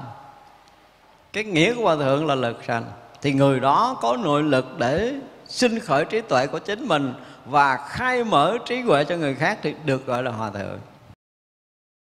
Cho nên chúng ta mới cúi đầu đảnh lễ một cái trí lực giác ngộ. Chúng ta mà cúi đầu kính lễ hòa thượng là kính lễ cái người có cái lực để có thể sanh trí tuệ giác ngộ cho mình. Chữ trí lực ở đây là là cái vị mà đã tu tập lâu năm và có nội lực để có thể sinh khởi trí tuệ cho mình và khai mở trí tuệ người khác thì được xem là một vị hòa thượng chúng ta nên hiểu được cái chữ hòa thượng này thêm chút nữa. Thành ra có cái này mình có thể hiểu ra cái kia một chút. À, chứ giờ bây giờ mà nói trí tuệ trí thức thì mình có thể hiểu được rồi và mình có thể lý giải được đúng không? Mình có thể lý giải được. Cho nên là trí lực của đức phật đã viên mãn. Viên mãn ở chỗ nào là nếu như trí tuệ của chư phật mười phương mà đến đâu thì cái đức phật này sao? Cũng có trí tuệ như vậy để thâm nhập cảnh giới ba đời mười phương tất cả chư phật. Lực này không có vị bồ tát nào có. Mà vị nào mà có đủ lực để thâm nhập cảnh giới của chư Phật mười phương tất cả ba đời thì người đó được xem là người đó có trí lực. Và trí lực người đó đủ có thể khai tuệ cho tất cả các vị Bồ Tát ở mười phương, chứng thành Phật quả thì cái đó được xem là trí lực của chư Phật. Và Bồ Tát phải nói là khen câu nào là chúng ta phải sao? Phải khắc cốt ghi tâm câu đó đi. Không? ở đây là Bồ Tát đang khen Phật. Mà cả một cái đời của mình học Phật. Thì nói thiệt, nếu chúng ta đi tìm tất cả những cái kinh điển mà nói về Đức Phật, về lịch sử Đức Phật, không có là cái gì từ trước giờ mà chúng ta đã từng đọc lịch sử nhiều lần, đúng không? Thì không có nói được cái gì so với cái đoạn kinh này hết đoạn ngắn mà sáng giờ chúng ta học thôi. Đủ để chúng ta tôn quý Đức Phật lên tới tận tầng cao nhất của tâm linh mình. Nếu mà chúng ta học được từ sáng tới giờ, chúng ta hiểu được Đức Phật theo cái cái cách mà nói của các vị Bồ Tát này, thì chúng ta phải nói là rất là tôn thờ Đức Phật của mình. Còn đọc lịch sử chưa chắc đủ lực này đây là những câu nói từ nội lực cũng từ trí lực sanh. Đó, cái cách nói này là cách nói của trí lực á. rõ ràng là các vị nói một cái là mình nghe nó phải dùng cái từ là chấn động liền. Nghe nó có một cái chiều sâu của nội lực tâm linh thấy hiểu về Đức Phật chứ không phải là một người nghiên cứu trên lịch sử. Cái lịch sử của chúng ta được viết về Đức Phật thì thật nói là theo cái nhìn của những người thế gian theo cái nhìn của người thế gian. Nhưng mà đây là cái nhìn của một bậc giác ngộ nói về Đức Phật. Hai cái tầng nó quá khác nhau. Cho nên phải dùng cái từ là chúng ta quá phước để chúng ta mới có thể được nghe, được học những cái đoạn văn kinh này. Chắc là các vị này cũng bồ tát, tái lai mới được học. Mới được học. Chứ còn mà nếu như chúng ta không học đoạn kinh này, chúng ta không có đủ cái cái thấy nhìn chúng ta chưa có đủ cái sức để mà chúng ta có thể tưởng tượng ra được những cái điều này ở nơi đức phật. Nhưng mà một câu của các vị Bồ Tát thôi đủ để cho chúng ta hiểu Đức Phật Chúng ta tôn quý, chúng ta kính mến Đức Phật Chúng ta thương yêu Đức Phật với tận cái nguồn tâm của mình Nếu mà được học những cái điều này. Thì thấy rằng trí lực của Đức Phật là đủ sức để có thể chuyển hóa tất cả chúng sanh khắp Pháp giới mười phương này từ lầm mê cho tới giác ngộ. Thì đó được gọi là trí lực đó nói tới trí lực nó nhiều chuyện lắm chứ không phải trí lực là cái thấy thơ, bình thường. Cái thấy mà để vượt qua những chướng ngại nơi tâm thấy để phá vỡ những lầm mê sanh tử rồi cái thấy để vượt qua những cảnh giới mê lầm của thiền định để đạt ngộ giải thoát đó là cũng là trí lực nhưng mà chuyện đó là chuyện của tự tâm. Cho tới khi đạt cảnh giới nội lực của tự tâm đến mức độ tận cùng là giác ngộ viên mãn rồi thì có trí lực để có thể đủ chức chuyển hóa tất cả chúng sanh muôn loài đạt tới giác ngộ giải thoát thì đây mới gọi là trí lực viên mãn của đức phật. Cho nên mình hiểu cái từ viên mãn. Các vị chứng a la hán tại sao chưa được gọi là viên mãn? Tại vì chưa có đủ trí lực này. Mình được quyền trả lời câu đó. Các vị a la hán không đủ sức để làm cho tất cả chúng sanh chuyển thành từ mê thành giác ngộ, cũng có thể dạy dỗ một vài đệ tử và có thể chuyển hóa nội tâm một vài đệ tử, chứ không đủ sức để làm cho tất cả chúng sanh như đức phật và các vị la hán không đủ sức để nhập cảnh giới chư phật. Hòa cùng với cảnh giới của chư phật mười phương, cả ba đời thì các vị la hán không đủ. Mà phật đủ sức để hòa nhập trong cảnh giới của chư phật mười phương, đủ sức để có thể làm hiển lộ cảnh giới của pháp giới này, hiển hiện tất cả những ảnh tượng của nó. Các vị a la hán chưa đủ lực này, thì rõ ràng là có cái cao, cái thấp chứ không phải là không có nhưng mà hồi mình chưa học này thì mình đủ sức giải thích. Mà tới đây mình được quyền nói rất là nhiều khía cạnh về trí lực, về cảnh giới tu chứng. Trí lực một cái nhìn phá vỡ toàn bộ sanh tử thì đó được xem là trí lực. Trí lực mà để mà vượt qua một cái nghiệp tập cũng là một dạng trí lực. Thì mình thuộc cái dạng trí lực nhỏ, đúng không? Có thể lâu lâu là mình không còn dính mắc chuyện này. Mình không còn dính mắc tới chuyện kia thì đó cũng là một dạng trí lực của mình nhưng mà vượt qua một số những cái vướng mắc đó cũng là quý rồi. Ví dụ như thèm cái món mà gì đó mà bây giờ mình hết thèm là mình đã giỏi rồi. đúng không? Thèm ăn giặt thôi ngồi buồn buồn lặt cái hộp gì dưa hấu cắn cục cục nhưng mà bây giờ ngồi không không cắn là đã giỏi rồi. Rồi ví dụ như mình ngồi gần một người là cứ khiều khiều móc móc nói chuyện hoài, bây giờ mình ngồi yên được một hai tiếng hồ, mà mình không móc móc, méo méo nói chuyện người ta là cũng đã là trí lực để vượt qua rồi. Nói vậy đó, tức là nếu chúng ta tu thì từng chuyện tu, tức là thể hiện cái trí lực của mình nhưng mà cái điều chúng ta vượt qua một lần một việc thì có nghĩa là lực nội tâm chúng ta vững hơn một chút. Để ý là khi mà chúng ta vượt ra một cái gì, chúng ta cảm giác rõ ràng là mình có thăng tiến, tức là nội lực tự tâm từng ngày, chúng ta cảm thấy nó càng vững, càng mạnh, càng mãnh liệt. Và tới một lúc là mình à, nếu mà nói từ mà không có sợ gì thế gian này thì nghe nó kỳ, nói chuyện thế gian mà không có sợ có nghĩa là mình còn hơn thua nhưng mà mình thấy rằng tất cả những cái việc của thế gian nó không còn để vướng bận nơi tâm mình nữa. Là trí lực đã vượt qua cõi trần. Không còn cái chuyện gì có thể dính mắt mình nữa là trí lực mà nó vượt qua cõi phàm. Đó thì cứ như vậy đó, mà cái tầng, từng tầng bậc công phu mà trí lực chúng ta đã vượt qua. Và tới như Đức Phật gọi là trí lực viên mãn là thôi hết chỗ để nói rồi, đúng không? Tất cả những trí tuệ của chư đại Bồ Tát tới đâu thì trí lực này đều vượt qua và đủ sức để chuyển hóa, đủ sức để trợ lực, đủ sức để khai mở, đủ sức để có thể dạy dỗ, đủ sức để có thể làm thành tựu cho tất cả chúng sanh khắp pháp giới này. Thì đó được gọi là trí lực viên mãn. Rõ ràng là chỉ có Đức Phật. Và nếu mà khen Đức Phật thì đúng là các vị con ruột của Đức Phật, các vị đại Bồ Tát mới có những cái lời khen cỡ này thì xưa giờ chúng ta cũng học lịch sử nhiều, đúng không? Đọc đi đọc lại cũng nhiều tất cả kinh tạng Bali cũng đọc ừ, các kinh khác cũng đọc. Nhưng mà các vị Bồ Tát mà khen Phật như thế này là chúng ta phải nói rõ ràng một câu là chưa từng gặp và chưa từng nghe ở các kinh điển khác. Luôn dùng quang minh lớn chiếu khắp chúng sanh. Thì chuyện này mình đã nói nhiều rồi ha ánh sáng trí tuệ của đức phật là gần như là chói chang trong pháp giới này. Và sự thật đang chói chang nếu mà mình lắng động tâm mình thật sự, có một cái lần mà nếu như bây giờ mình xin Phật cho con một lần được thấy. Xin Phật là ơn cho con lần được thấy ánh sáng của Ngài cái đi. Thực sự là một lần thấy ánh sáng đó rồi là không còn cái gì có thể nói chuyện trần gian này nữa. Bỏ đã là mình sẽ tinh tấn suốt đời này, không cần ai nhắc nhở.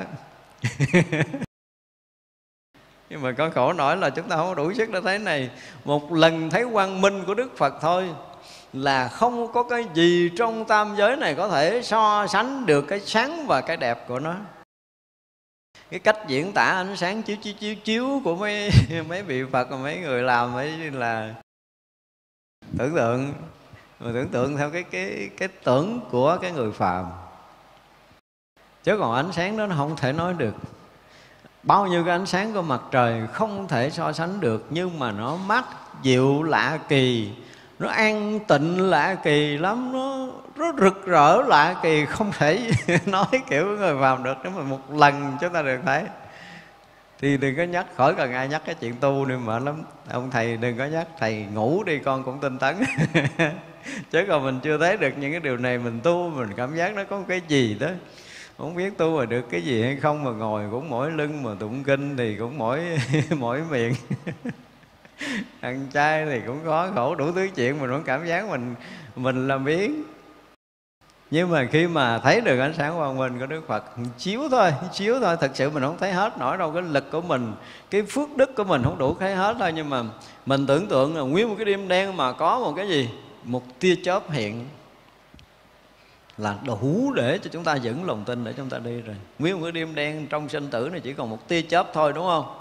Thì chúng ta thấy được ánh sáng rực sáng của bầu trời một tí đó là đủ để chúng ta có thể tiến bước trên bước đường đạo lý và ai trong đời mình có một lần thấy được tia chớp ánh sáng đó chiếu siêu đó thôi giữa bầu trời đen mà chỉ cần một tia sáng như một tia chớp là đủ rồi đó cho nên cái quang minh Đức Phật lớn lắm chiếu khắp thế gian này chưa bao giờ dừng, chưa bao giờ dứt. Nhưng mà cái vô minh chúng ta đến cái độ chúng ta không thể thấy được thì biết mình nó dày cỡ nào. ở tới đây mà mới nói mới thấy mới thấy là vô minh là cái gì nè à, mình có thể định nghĩa cho mình một cách đơn giản là không thấy được quang minh của đức phật. À, chứ đừng nói vô minh là chuyện gì lớn lao lắm đúng không? Bây giờ định nghĩa vô minh một cách rất là đơn giản là ờ, mình không đủ sức để có thể thấy được quang minh của đức phật. Trong khi quang minh đức phật đã chiếu khắp pháp giới mười phương này từ lâu lắm rồi và đang chiếu và mãi mãi chiếu trong cái pháp giới mười phương này. Đó thành ra là khi nào chúng ta phá vỡ cái vô minh của mình thì khi ấy chúng ta nhận được cái quang minh chói chang của Đức Phật đã chiếu ở pháp giới này từ lâu lắm rồi. Nhưng mà khi nào chúng ta thấy thì có nghĩa là khi đó vô minh chúng ta được tan biến. Cho lúc nào quang minh Đức Phật cũng chiếu khắp. Không lúc nào quang minh Đức Phật không có trong tam giới này. Tùy sở nguyện của họ đều được khiến đầy đủ. Ừ, đấy rõ ràng đó, tùy sở nguyện thì bây giờ mình nguyện đi. Chứ bồ tát dạy chúng ta là từ thế sở nguyện được thế thì bây giờ bắt đầu mình nguyện không? Con rồi là gì là gì đó là một cái uh, chúng sanh vô minh lầm lạc là nhiều đời nhiều kiếp lăn lộn trong sanh tử luân hồi phải không? Con thiết tha đi theo con đường giác ngộ giải thoát của đức phật. Và con thiết tha cầu xin đức phật khai tuệ cho con đúng không? Để cho một lần con được thấy quang minh đức phật để làm cái gì? Cái động lực tu hành của chúng con từ đây cho tới ngày con thành phật. Nguyện vậy lại vậy xin vậy thời gian có được không? Ở đây chỉ bồ tát dạy mà tùy theo cái nguyện họ đều được khiến được đầy đủ luôn á chứ không phải khiến bình thường. À, vừa mở ra một cái quan minh đức phật chiếu khắp pháp giới thì rõ ràng mình không thấy thì ngài chim thêm một câu có nghĩa là dạy mình. Họ muốn thấy quang minh này thì nguyện đi và phải nguyện trọn đời, trọn kiếp này và hằng hà xa số kiếp về sau trong sanh tử. Con nguyện ra là con được một lần thấy quang minh.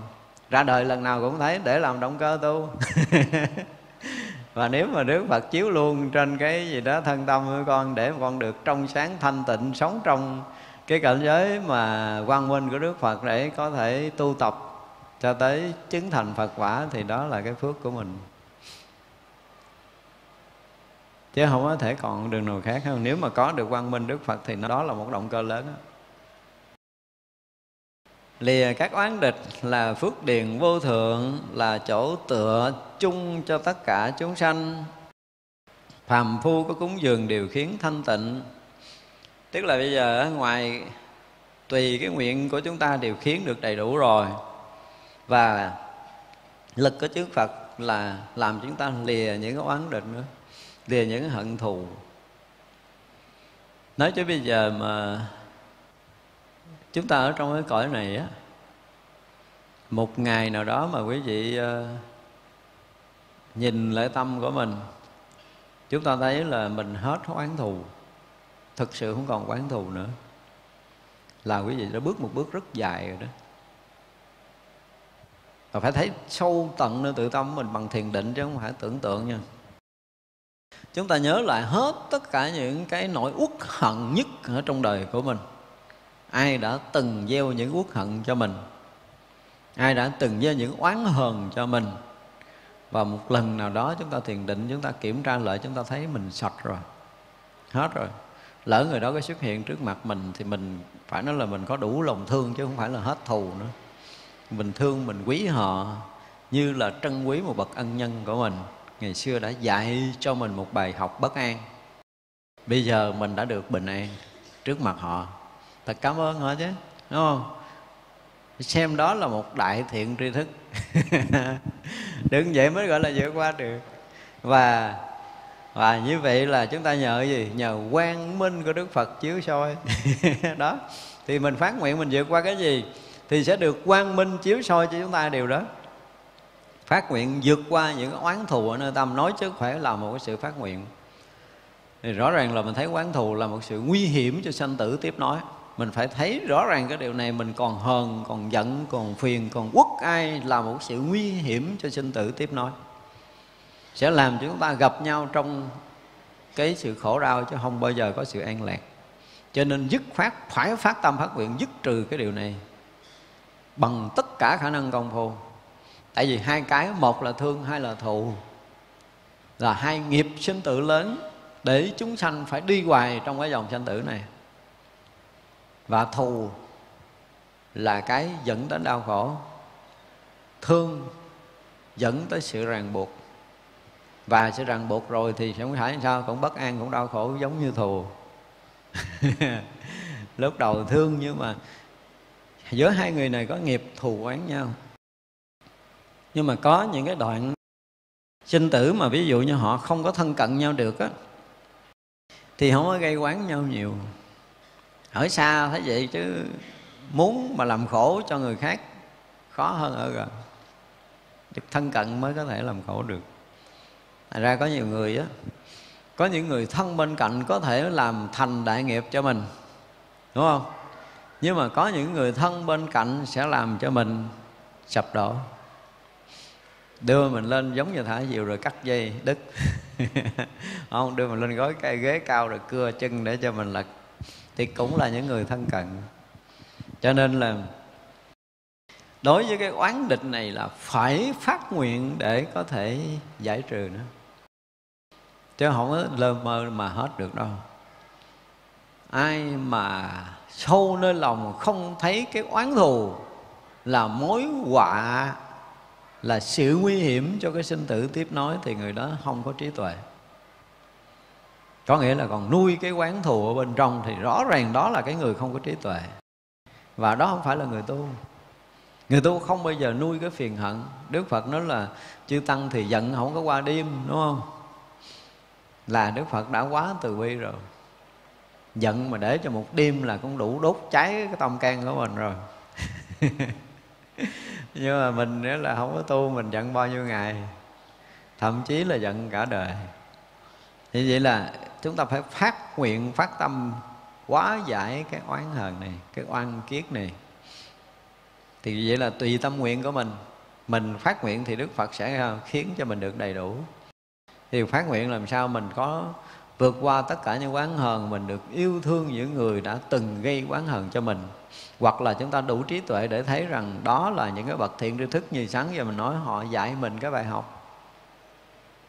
Nghịch thiện tri thức và thuận thiện tri thức. Thuận thiện tri thức thì có thể chỉ dạy mình con đường đạo đức. Nghịch thiện tri thức sẽ đem lại những cái sự bất trắc trong cuộc đời của chúng ta. Và cả hai vị thiện tri thức này chúng ta phải học một cách ngọt ngào và phải trân trọng như là một vị thầy dẫn đường cho chính mình. Thì mới được còn nếu không thì rất là khó. Nói vậy chứ cha mẹ mà đánh con đau nhiều khi nó đâu biết cảm ơn đâu nó ngồi nó khóc và nó giận nữa. Đúng không? Nhưng mà cha mẹ là muốn con phải thành người cho nên mới rầy dạy vậy mà nó còn giận. Nhưng mà người tu thì khác. Mỗi khi chúng ta bị rò, đòn roi trong cuộc sống này là chúng ta phải gắn trầm mình xuống dùm để mình suy nghiệm.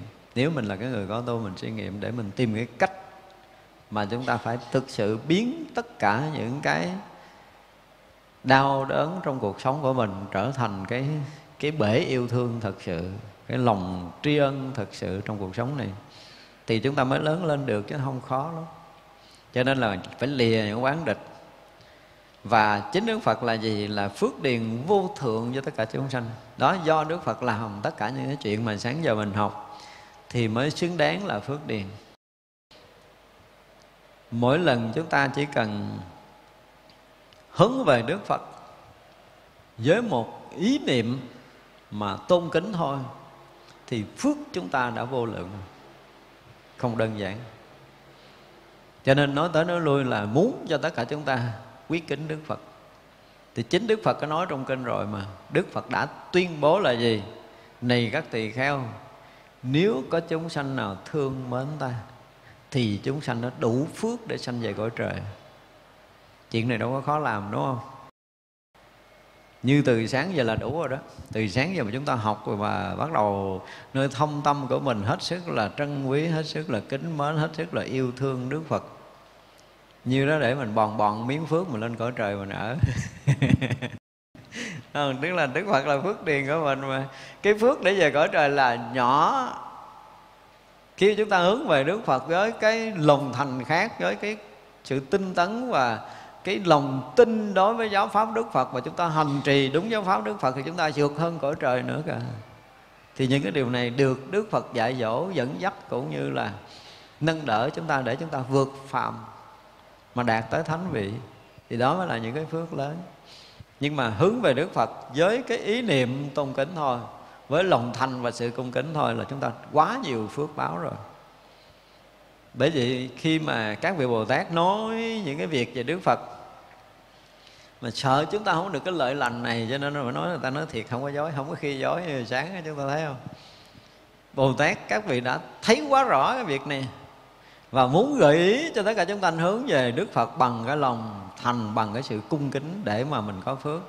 Thì đó mới gọi là ruộng phước điền cho chúng sanh nhiều một á, là chúng ta hướng về đức phật. Nếu như chúng ta cung kính đảnh lễ tạ ơn đức phật thể hiện lòng cung kính đảnh lễ một cách sâu sắc nhất thì như hồi trước chúng tôi nói là cái gì? Một lần mà chúng ta hướng về đức phật mà chúng ta bị bị rung động thật sự thì cái rung động này nè mới thực sự thể hiện cái lòng tôn quý. Chúng ta chưa rung động chúng ta không thể hiện được và khi chúng ta được rung động đến Đức Phật rồi Một điều kỳ lạ là chúng ta sẽ bắt đầu được câu thông Với tất cả những cái đạo hạnh, những cái từ tâm, những cái trí tuệ của Đức Phật rất vô mình. Mình sẽ thấy rằng cái công phu tu tập chúng ta sẽ biến chuyển một cách rất lạ lùng. Trước kia mình ngồi không bao giờ yên tâm, bây giờ mình ngồi là yên. Trước kia mình niệm Phật không nhất tâm, bây giờ niệm Phật sẽ được nhất tâm.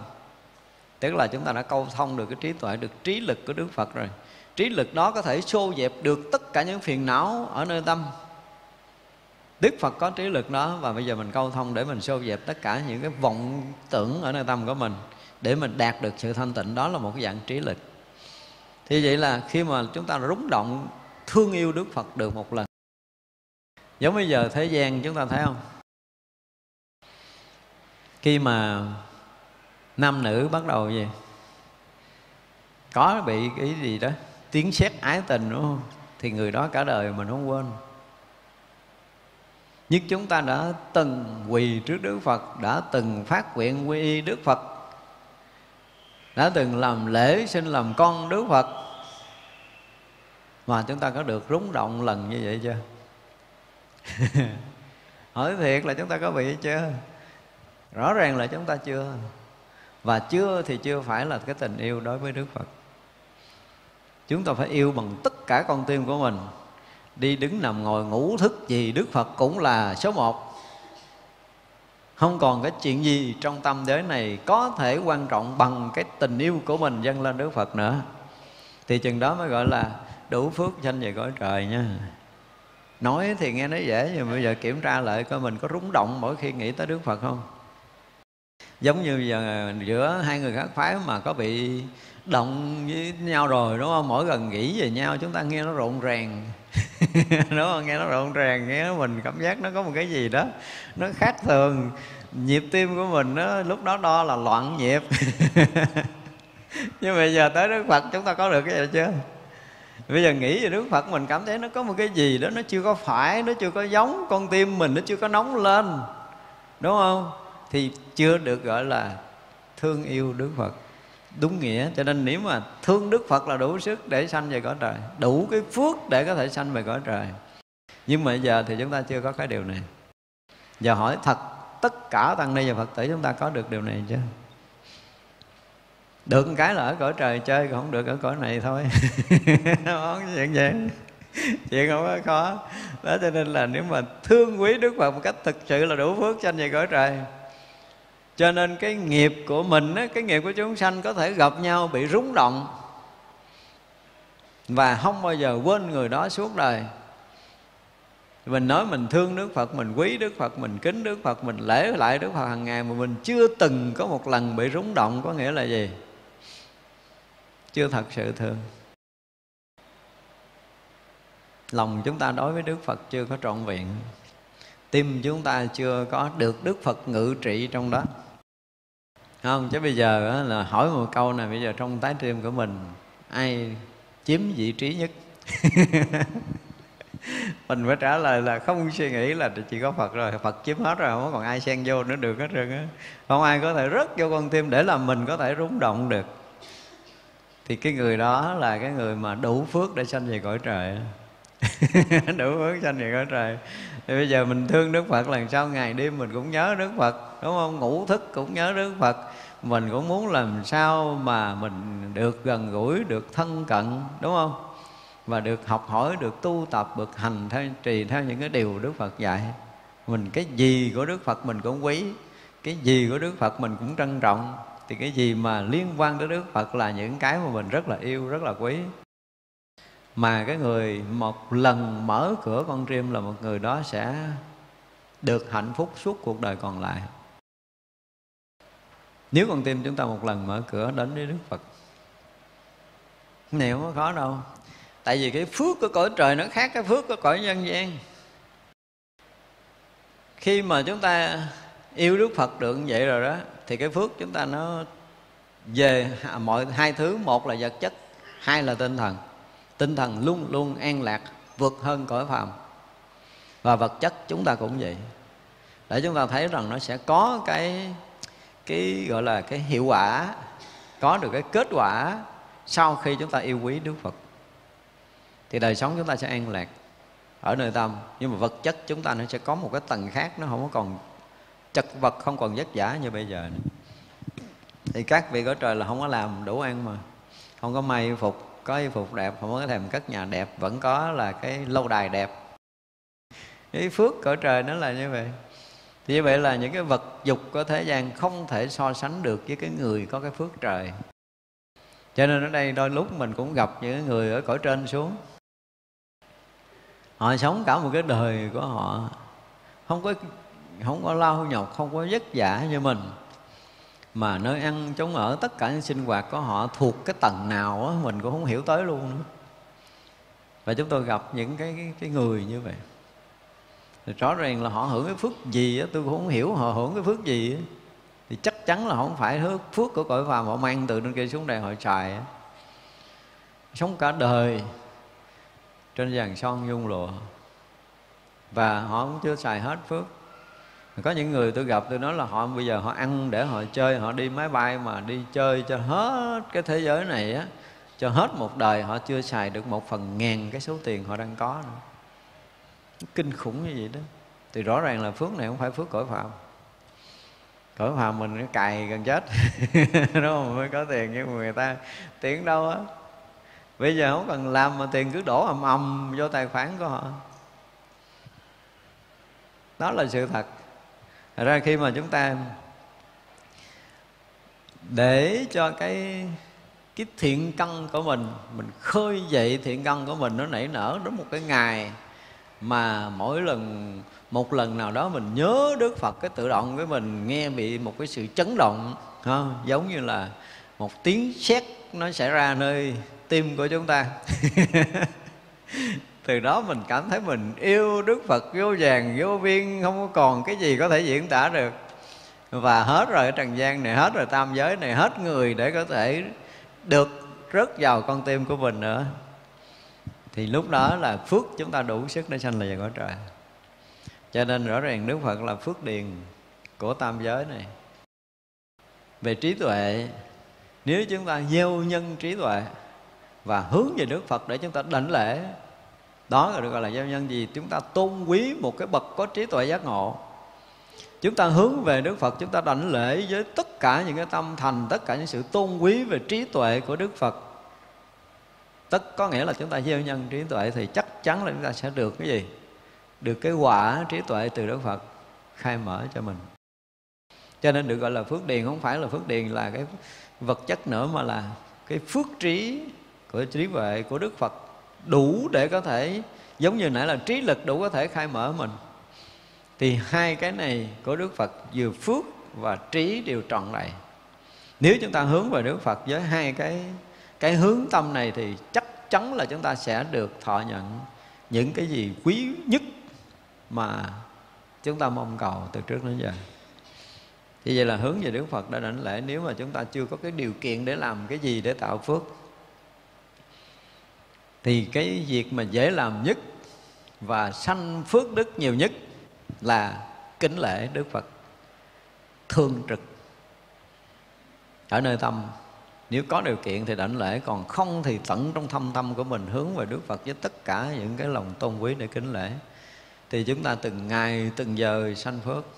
Đức Phật là ruộng phước điền mà cứ gieo. À, gieo ở đâu không có à, cờ gieo đâu cũng có thể bị ờ, ở gì đó là không có nảy mầm chứ mà gieo với Đức Phật là luôn luôn là được nảy mầm phước đức và trí huệ. Đây là cái điều mà tất cả chúng ta phải phải phải dùng cái từ là phải đem hết cái lòng tin về để hướng về Đức Phật. Đừng có ai có nửa niệm nghi ngờ Đức Phật là một cái điều mà gọi là gì đóng cái bích cắt cửa thiện căn của mình đó. nếu ai mà có một cái chút mà thiếu lòng tin với Đức Phật về điều này thì phải nói là thành thật chia buồn với người đó họ sẽ đóng bít cái cửa phượng đa, thiện căn và phước đức của họ. Là chỗ nương tựa chung của tất cả chúng sanh. Nếu như bây giờ mà sâu nơi tâm của mình, không còn có cái chỗ nào vững chắc bằng cái chỗ nương tựa Đức Phật nữa. Mình phải thấy như vậy đương nhiên là gia đình là cái chỗ tựa từ xưa đến giờ, đúng không? Nhưng mà bây giờ gia đình mình, bây giờ cha mẹ mình thì cũng già lần lần, cha mẹ cũng mất. Ví dụ như chồng hoặc là vợ thì thời gian cũng không còn. Và bản thân mình, cái chỗ nương tựa là tam bảo. Và ví dụ như bây giờ có ai cho mình nương tựa cả đời đi, thì mình chết mình tựa ở đâu nữa? Thì rõ ràng một chúng sanh mà đã quy y Đức Phật, đã đi theo con đường giác ngộ của Đức Phật thì không phải là quy trọn một đời này, mà là quy hằng hà xa số kiếp. Tức là chúng ta quay về nương tựa với Đức Phật không phải một đời. Thì Đức Phật là chỗ nương tựa cho chúng ta từ đây cho tới ngày chúng ta thành Phật. Thì đó mới là cái chỗ nương tựa vững chắc. Chứ còn thế gian này là không vững chắc. Cho nên là chỗ nương tựa chúng sanh không phải nương tựa trong một đời này của mình trong cái hiểu biết của mình trong một đời của một chúng sanh ở một kiếp người này. Nhưng qua đời sau có khi là chúng ta không còn là người, chúng ta đi một cái cõi nào khác. Thì ở kiếp sống khác, chúng ta cũng nương tựa phật.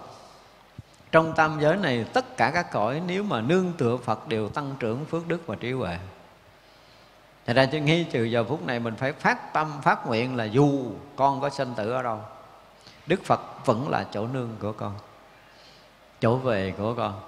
Xin Đức Phật chứng minh và gìn giữ con trong vòng tay của Ngài Để con được đi hoài ở trong cái lòng yêu thương và cái giờ sự bảo bọc của Ngài. Từ đây cho tới Ngài thành Phật. Hả? Cho phải, phải tin một cách vững vàng với cái chuyện này Để mình cảm giác rằng bây giờ mình không có thể xa rời được nữa. Mình luôn sống trong cái sự yêu thương của Đức Phật là chỗ là cội nguồn của của quang minh thì muốn giác ngộ thì cũng phải từ Đức Phật để mà giác ngộ. Tại Đức Phật là cội nguồn của quang minh mà. Cội nguồn của trí tuệ, cội nguồn của sự bình an, cội nguồn của phước báo. Thì tại sao mà nó quay về đó để mình nương tựa? Đi đâu? Được cái gì ở trong tam giới này thì cũng là được một đời. Ví dụ bây giờ mà có những người mà tạo cái của cải đầy ở thế gian này thì cũng hết đời đâu có mang đi được cũng đâu chúng ta cũng để lại.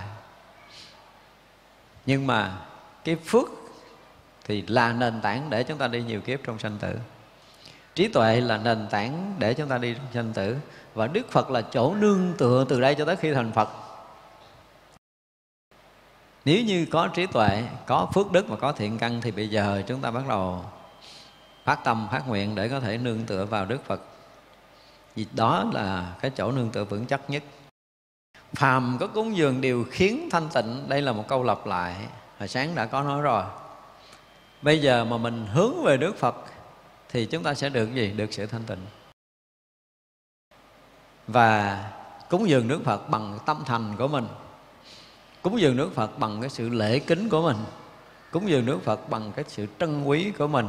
Cúng dường Đức Phật bằng sự thương yêu của mình cúng dường Đức Phật bằng lòng tri ân của mình, vân vân. Tất cả những cái gì mà mình có mình có thể hướng về Đức Phật để đảnh lễ cúng dường. Và khi mà mình hướng về đức phật đảnh lễ cúng dường như vậy thì tâm chúng ta thực sự thanh tịnh. Chắc chắn là chúng ta sẽ được thanh tịnh. Chỉ có điều là chúng ta lễ phật trong cái tâm loạn động. Đến Đức Phật là cái gì đó mà chúng ta hướng về Đức Phật, chúng ta cầu cái này, chúng ta xin cái kia, đúng không? Chứ chưa bao giờ chúng ta lễ Đức Phật bằng tất cả những cái thâm tâm cung kính nhìn cái cách đảnh lễ của mình người ta sẽ nhận ra là mình kính Phật tới đâu. Dễ thấy lắm. Cho nên chỉ cần người mà đứng trước tam bảo đảnh lễ người có chuyên môn họ nhìn họ biết. Chúng ta nhớ có một cái quyển sách uh, hình như là cái gì? Đường mây qua xứ tuyết gì đó. Diễn tả một cái uh, một cái người tham quan chùa. Và đêm đó ờ, đi trễ được ở lại trong chùa đó. Ở phía nghe thức, nghe vị ờ, hương đăng lễ phật, thì vị này muốn lên coi thôi. Nhưng mà cái thiện căn người này nó lớn đến cái độ mà thấy cái vị này lại phật á, là họ cố đứng không vững, họ lại lợi cái ông này luôn. thì có nghĩa là thấy cái vị lại phật với tất cả cái lòng thành cái sự tôn quý, tất cả những cái yêu thương, những cái tôn trọng dâng lên đức phật trong cái lễ của mình. Thì vị này thấy được cái cảm được cái tâm đó và phát nguyện đi theo tu học. Chỉ là khách đi tham quan đi qua đường bình thường mà chỉ cần thấy cái lễ phật của vị thầy hương đăng thôi là người ta xin đi theo đạo phật, không cần lời thuyết pháp cái lực đó nó mạnh đến cái độ đó, cái tâm thành đủ có thể cảm được những người xung quanh khi lễ phật. Cho nên cái việc lễ phật mà thể hiện trọn cái lòng thành của chúng ta, cái lực nó ghê gớm, nó gây một cái sự chấn động. Và chúng ta để lại cái mảnh đất đó, phải nói là khi mà một người mà đủ cái tâm thành để mà đánh lễ Phật ở mảnh đất nào, thì mảnh đất đó có khả năng được cái sự yên bình. Lực nó có đủ cái điều này lực của tự tâm đủ cái điều để có thể làm cho mảnh đất yên bình. Thành ra là tại sao mình à, mình rất muốn các vị tôn đức có một lần tới nhà mình đốt cái nhang, để lễ phật nhà mình cái. Là cái này nè, cái này là cái lực này nè. Các vị rất là yên ổn, rất là thanh tịnh, rất là an lạc và rất là thành kính đối với đức phật. Họ để lại trong gia đình chúng ta một năng lượng đó. Và rõ ràng là ngày hôm sau mình vô đốt nhang lại phật nó khác đi liền cái chỗ mà có một vị tôn đức mà bước chân tới, mà thắp cây nhang là cái gia đình đó sẽ thay đổi. Không phải đơn giản đâu. Không phải đơn giản. Cái lực của các vị nó như vậy. Cho nên là nếu như mà mình à, cúng dường được Đức Phật bằng tất cả những tâm thành của mình, rõ ràng là bây giờ mình không thể được gặp Phật để cúng cái gì rồi mặc dù mình hướng về Đức Phật, mình cúng một đóa hoa, mình hướng về Đức Phật, mình cúng một đĩa trái cây, hoặc là cúng một mâm cơm, cúng cái gì đó, nếu mình hướng về Đức Phật để mình cúng, thì điều khiến cho tâm chúng ta thanh tịnh. Tại vì Đức Phật là một bể ánh sáng, là một bể trí tuệ, là một bể thanh tịnh, là cội nguồn của sự thanh tịnh.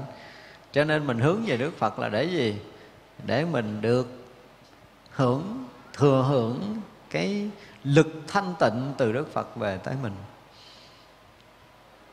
hướng về Đức Phật đảnh lễ sẽ thấy sự thanh tịnh.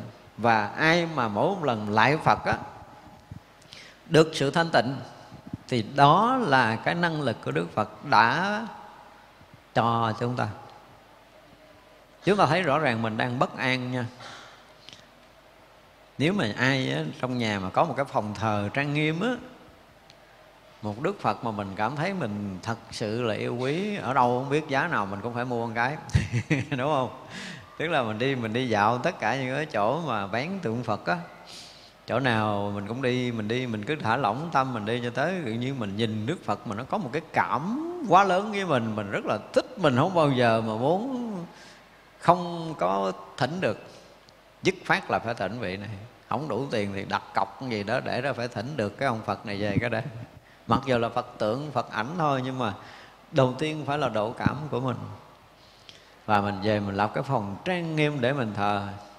Mỗi khi mình có tâm sự, quý vị sẽ đến trước đức phật đó chỉ cần đốt nhang, đảnh lễ, chúng ta ngồi lắng xuống một cái là chúng ta cảm thấy là nó có một cái khác.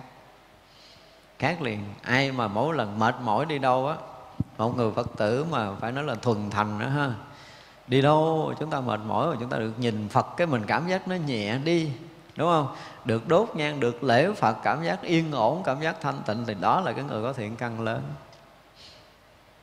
Việc thờ phật nó có cái điều này. Cái lực của phật khi mà cái tâm thành của mình mà thờ cúng á, và mình đốt nhang, mình kính lễ, trong khoảng 3 tháng tới 6 tháng thì mình sẽ gọi là cái khí thanh tịnh của Đức Phật nó được kết và sẽ tỏa ra ở nơi thờ của mình kết tốt và kết xấu từ cái lúc mà mình à, mình đem về mình thờ. Thì lần lần cái phòng thờ chúng ta sẽ có lực. Đi đâu không biết, về lẹ lẹ tắm rửa sạch, đốt nhang lại phật cái đã rồi muốn làm thì nó làm. Đó thường là như vậy. Thì chúng ta sẽ thấy mọi điều nó xảy ra khác. Khi nào mà cuộc đời chúng ta làm được chuyện này thì mình sẽ thấy là cuộc đời chúng ta nó sẽ khác trước kia rất là nhiều còn mình đi đâu lẻ lẻ về lo ăn cơm, đi đâu lẻ lẻ về coi phim, đi đâu lẻ lẻ về có đá banh. Đi đâu lẻ lẻ về để làm cái gì đó. Chứ chưa bao giờ là chúng ta đi đâu lẻ lẻ về để lại phật cái. Nếu không nếu mà tâm thành chúng ta hướng về đức phật một cách đúng đắn, chúng ta là người con phật thương, phật quý, phật thì cái chuyện tranh thủ của mình là được thấy phật đó đã. Được lễ phật, được kính phật. Thì như vậy là phước chúng ta sẽ tăng từng ngày, tuệ chúng ta sẽ mở từng ngày thì đây là những điều rất cần. Chúng ta nói là điều rất cần đối với chúng ta trong cái thời điểm này. Tại vì là cái chỗ nương tinh thần của mình mình mệt mỏi, mình lấy đó làm chỗ nương tựa, mình bất an, mình lấy đó làm chỗ nương tựa và chính những cái chỗ này nó quá giải được cái mệt mỏi, cái bất an trong đời sống của chúng ta. Cho nên ai mà đi đâu mà tới nhà mà quên lệ phật là là một cái gì đó thiếu sót mình cảm giác là có một cái chuyện gì gấp mà mình về nhà mình không có kịp đốt nhang để lại. Phật là mình nghe trong lòng mình nó bất an. Có khách quý gì cũng vậy rồi gắn chờ tôi một chút để tôi lại phật ra nói chuyện. Phải nói câu vậy đó. Chuyện gì cần gì cần nó không biết mà chờ tôi một chút đi để tôi lại phật cái rồi ra nói chuyện sao đó thì như vậy là mọi chuyện với mình phật là đứng số một. Đó, chuẩn bị làm bất kỳ một cái gì nên lại phật rồi làm đốt nhang trước bàn Phật, đảnh lễ trước Phật trước. Khi chúng ta làm mọi chuyện, chúng ta phải làm sao đó mà Đức Phật là chỗ tựa của mình, là chỗ quy hướng của mình, là chỗ khởi nguồn của mình trong mọi việc. Và mình phải tin rằng trước khi mình làm cái chuyện gì đó, mình đốt nhang lễ Phật là chuyện này sẽ thành công chắc chắn một trăm phần trăm. Mà mình đi mình không có lễ Phật, mình cảm giác mình bất an. Cái này không biết là do tâm linh hay gì nha đây là cái chuyện riêng cá nhân. Kể cho vui. Có một lần mình đi xa. Thường thường là đi lúc nào mình cũng lễ phật, nhưng mà lần đó đi xa chị chuyện gấp không biết mà đầu đi lẹ lẹ, không lễ phật. Mà chuyện mình cảm giác nó róc thiệt á. Chạy xe thì rất là bình thường mà một cái cục đá, từ xưa giờ cục đá nằm giữa lỗ khi nào đâm bể bánh xe đó bữa đó có một cục đá đâm đủ bể bánh xe để có thể phải đi giá mất hết một tiếng đồng hồ. để mình tâm linh là mình thấy cái chuyện đó nó, nó trùng hợp. Mà rõ ràng là mình bữa đó là sơ sức không đốt nhang lại Phật trước khi đi. Đó là riết nó trở thành một cái gì mà lên xe mình cảm giác trong lòng mình nó cũng có cái gì đó bất an. Mình không có được bình yên khi mình chưa có đốt nhang lễ Phật trước khi đi. Bất kỳ công chuyện nào thì riết là nó trở thành cái chuyện tâm linh đi, mình đi làm phải đốt nhang lại phật. Kệ nó, ai nói gì mình ngu thì mình chịu. Nhưng mà mình cứ đốt nhang lễ phật trước khi đi làm bất kể chuyện lớn, chuyện nhỏ nào. Và mình đủ tự tin và đủ cái sự yên bình để mình có thể hoàn thành cái việc mà mình muốn làm. Đó, thì vậy là đức phật thực sự là cái chỗ nương của mình. Cứ làm như vậy, không có mất mát gì đâu, bảo đảm là nó sẽ có lợi và chúng ta thử là lấy đức phật là chỗ nương tựa của mình đi. Mọi việc đều sẽ thành tựu như mong muốn. Ai mà đi theo con đường giác ngộ của đức phật mà mỗi việc làm, mỗi một cái sự khởi xướng công việc tôi nói hả, bây giờ ví dụ như mấy ông à, thầy bói coi cái ngày đó là xấu đi, mà tôi đốt nhang tôi lại phật, tôi vẫn tự tin là cái ngày đó tốt. Tại vì phước lực đức phật nó vượt hết mọi thứ rồi, không có sợ ngày xấu, ngày tốt rồi. Ngày nào cũng có thể à, khởi động được hết. Thì mình tự tin là có phật và có sự gia trì hộ niệm của đức phật. Đó, mình phải lấy cho đức phật làm một chỗ nương tựa tinh thần.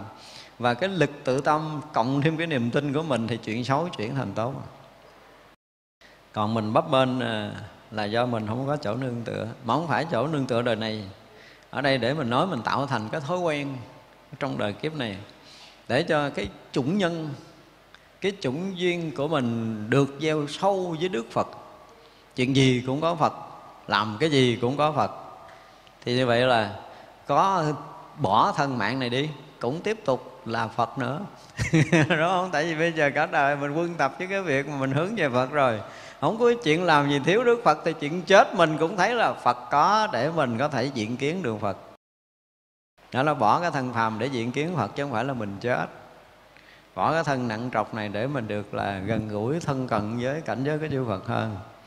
Thì như vậy là Đức Phật rõ ràng là chỗ nương của chúng ta. Và ai mà thực sự đủ cái lòng tin này và thường trực làm những điều này thì không có việc gì trên thế gian này mà chúng ta mong mỏi mà việc đó không có. Đó là điều mà chúng ta phải thấy là nương tựa Đức Phật là một cái phước lớn cho mình. Tại vì hướng về Đức Phật là tâm chúng ta thanh tịnh rồi. Hướng về Đức Phật là chúng ta nhận được phước điền, hướng về cội nguồn phước điền rồi. Hướng về Đức Phật là cội nguồn của trí tuệ, là quang minh, là cội nguồn của ánh sáng rồi. Thì nếu như chúng ta muốn cái khác thì chúng ta không có cần nhưng mà chúng ta muốn có trí huệ, chúng ta có muốn có phước đức, chúng ta có muốn có sự an lạc thanh tịnh. Ba cái này là ba cái cần, đúng không? Nếu như cuộc đời chúng ta hướng về sự an lạc và thanh tịnh, hướng về cái phước đức, hướng về trí tuệ thì chúng ta nên hướng về đức phật. Tại đức phật có đủ những điều này. Cho nên phải lấy đức phật làm chỗ nương tựa. Rồi à, cúng dường đức phật thì được sự thanh tịnh tu chút ít hạnh lành thọ hưởng vô lượng phước.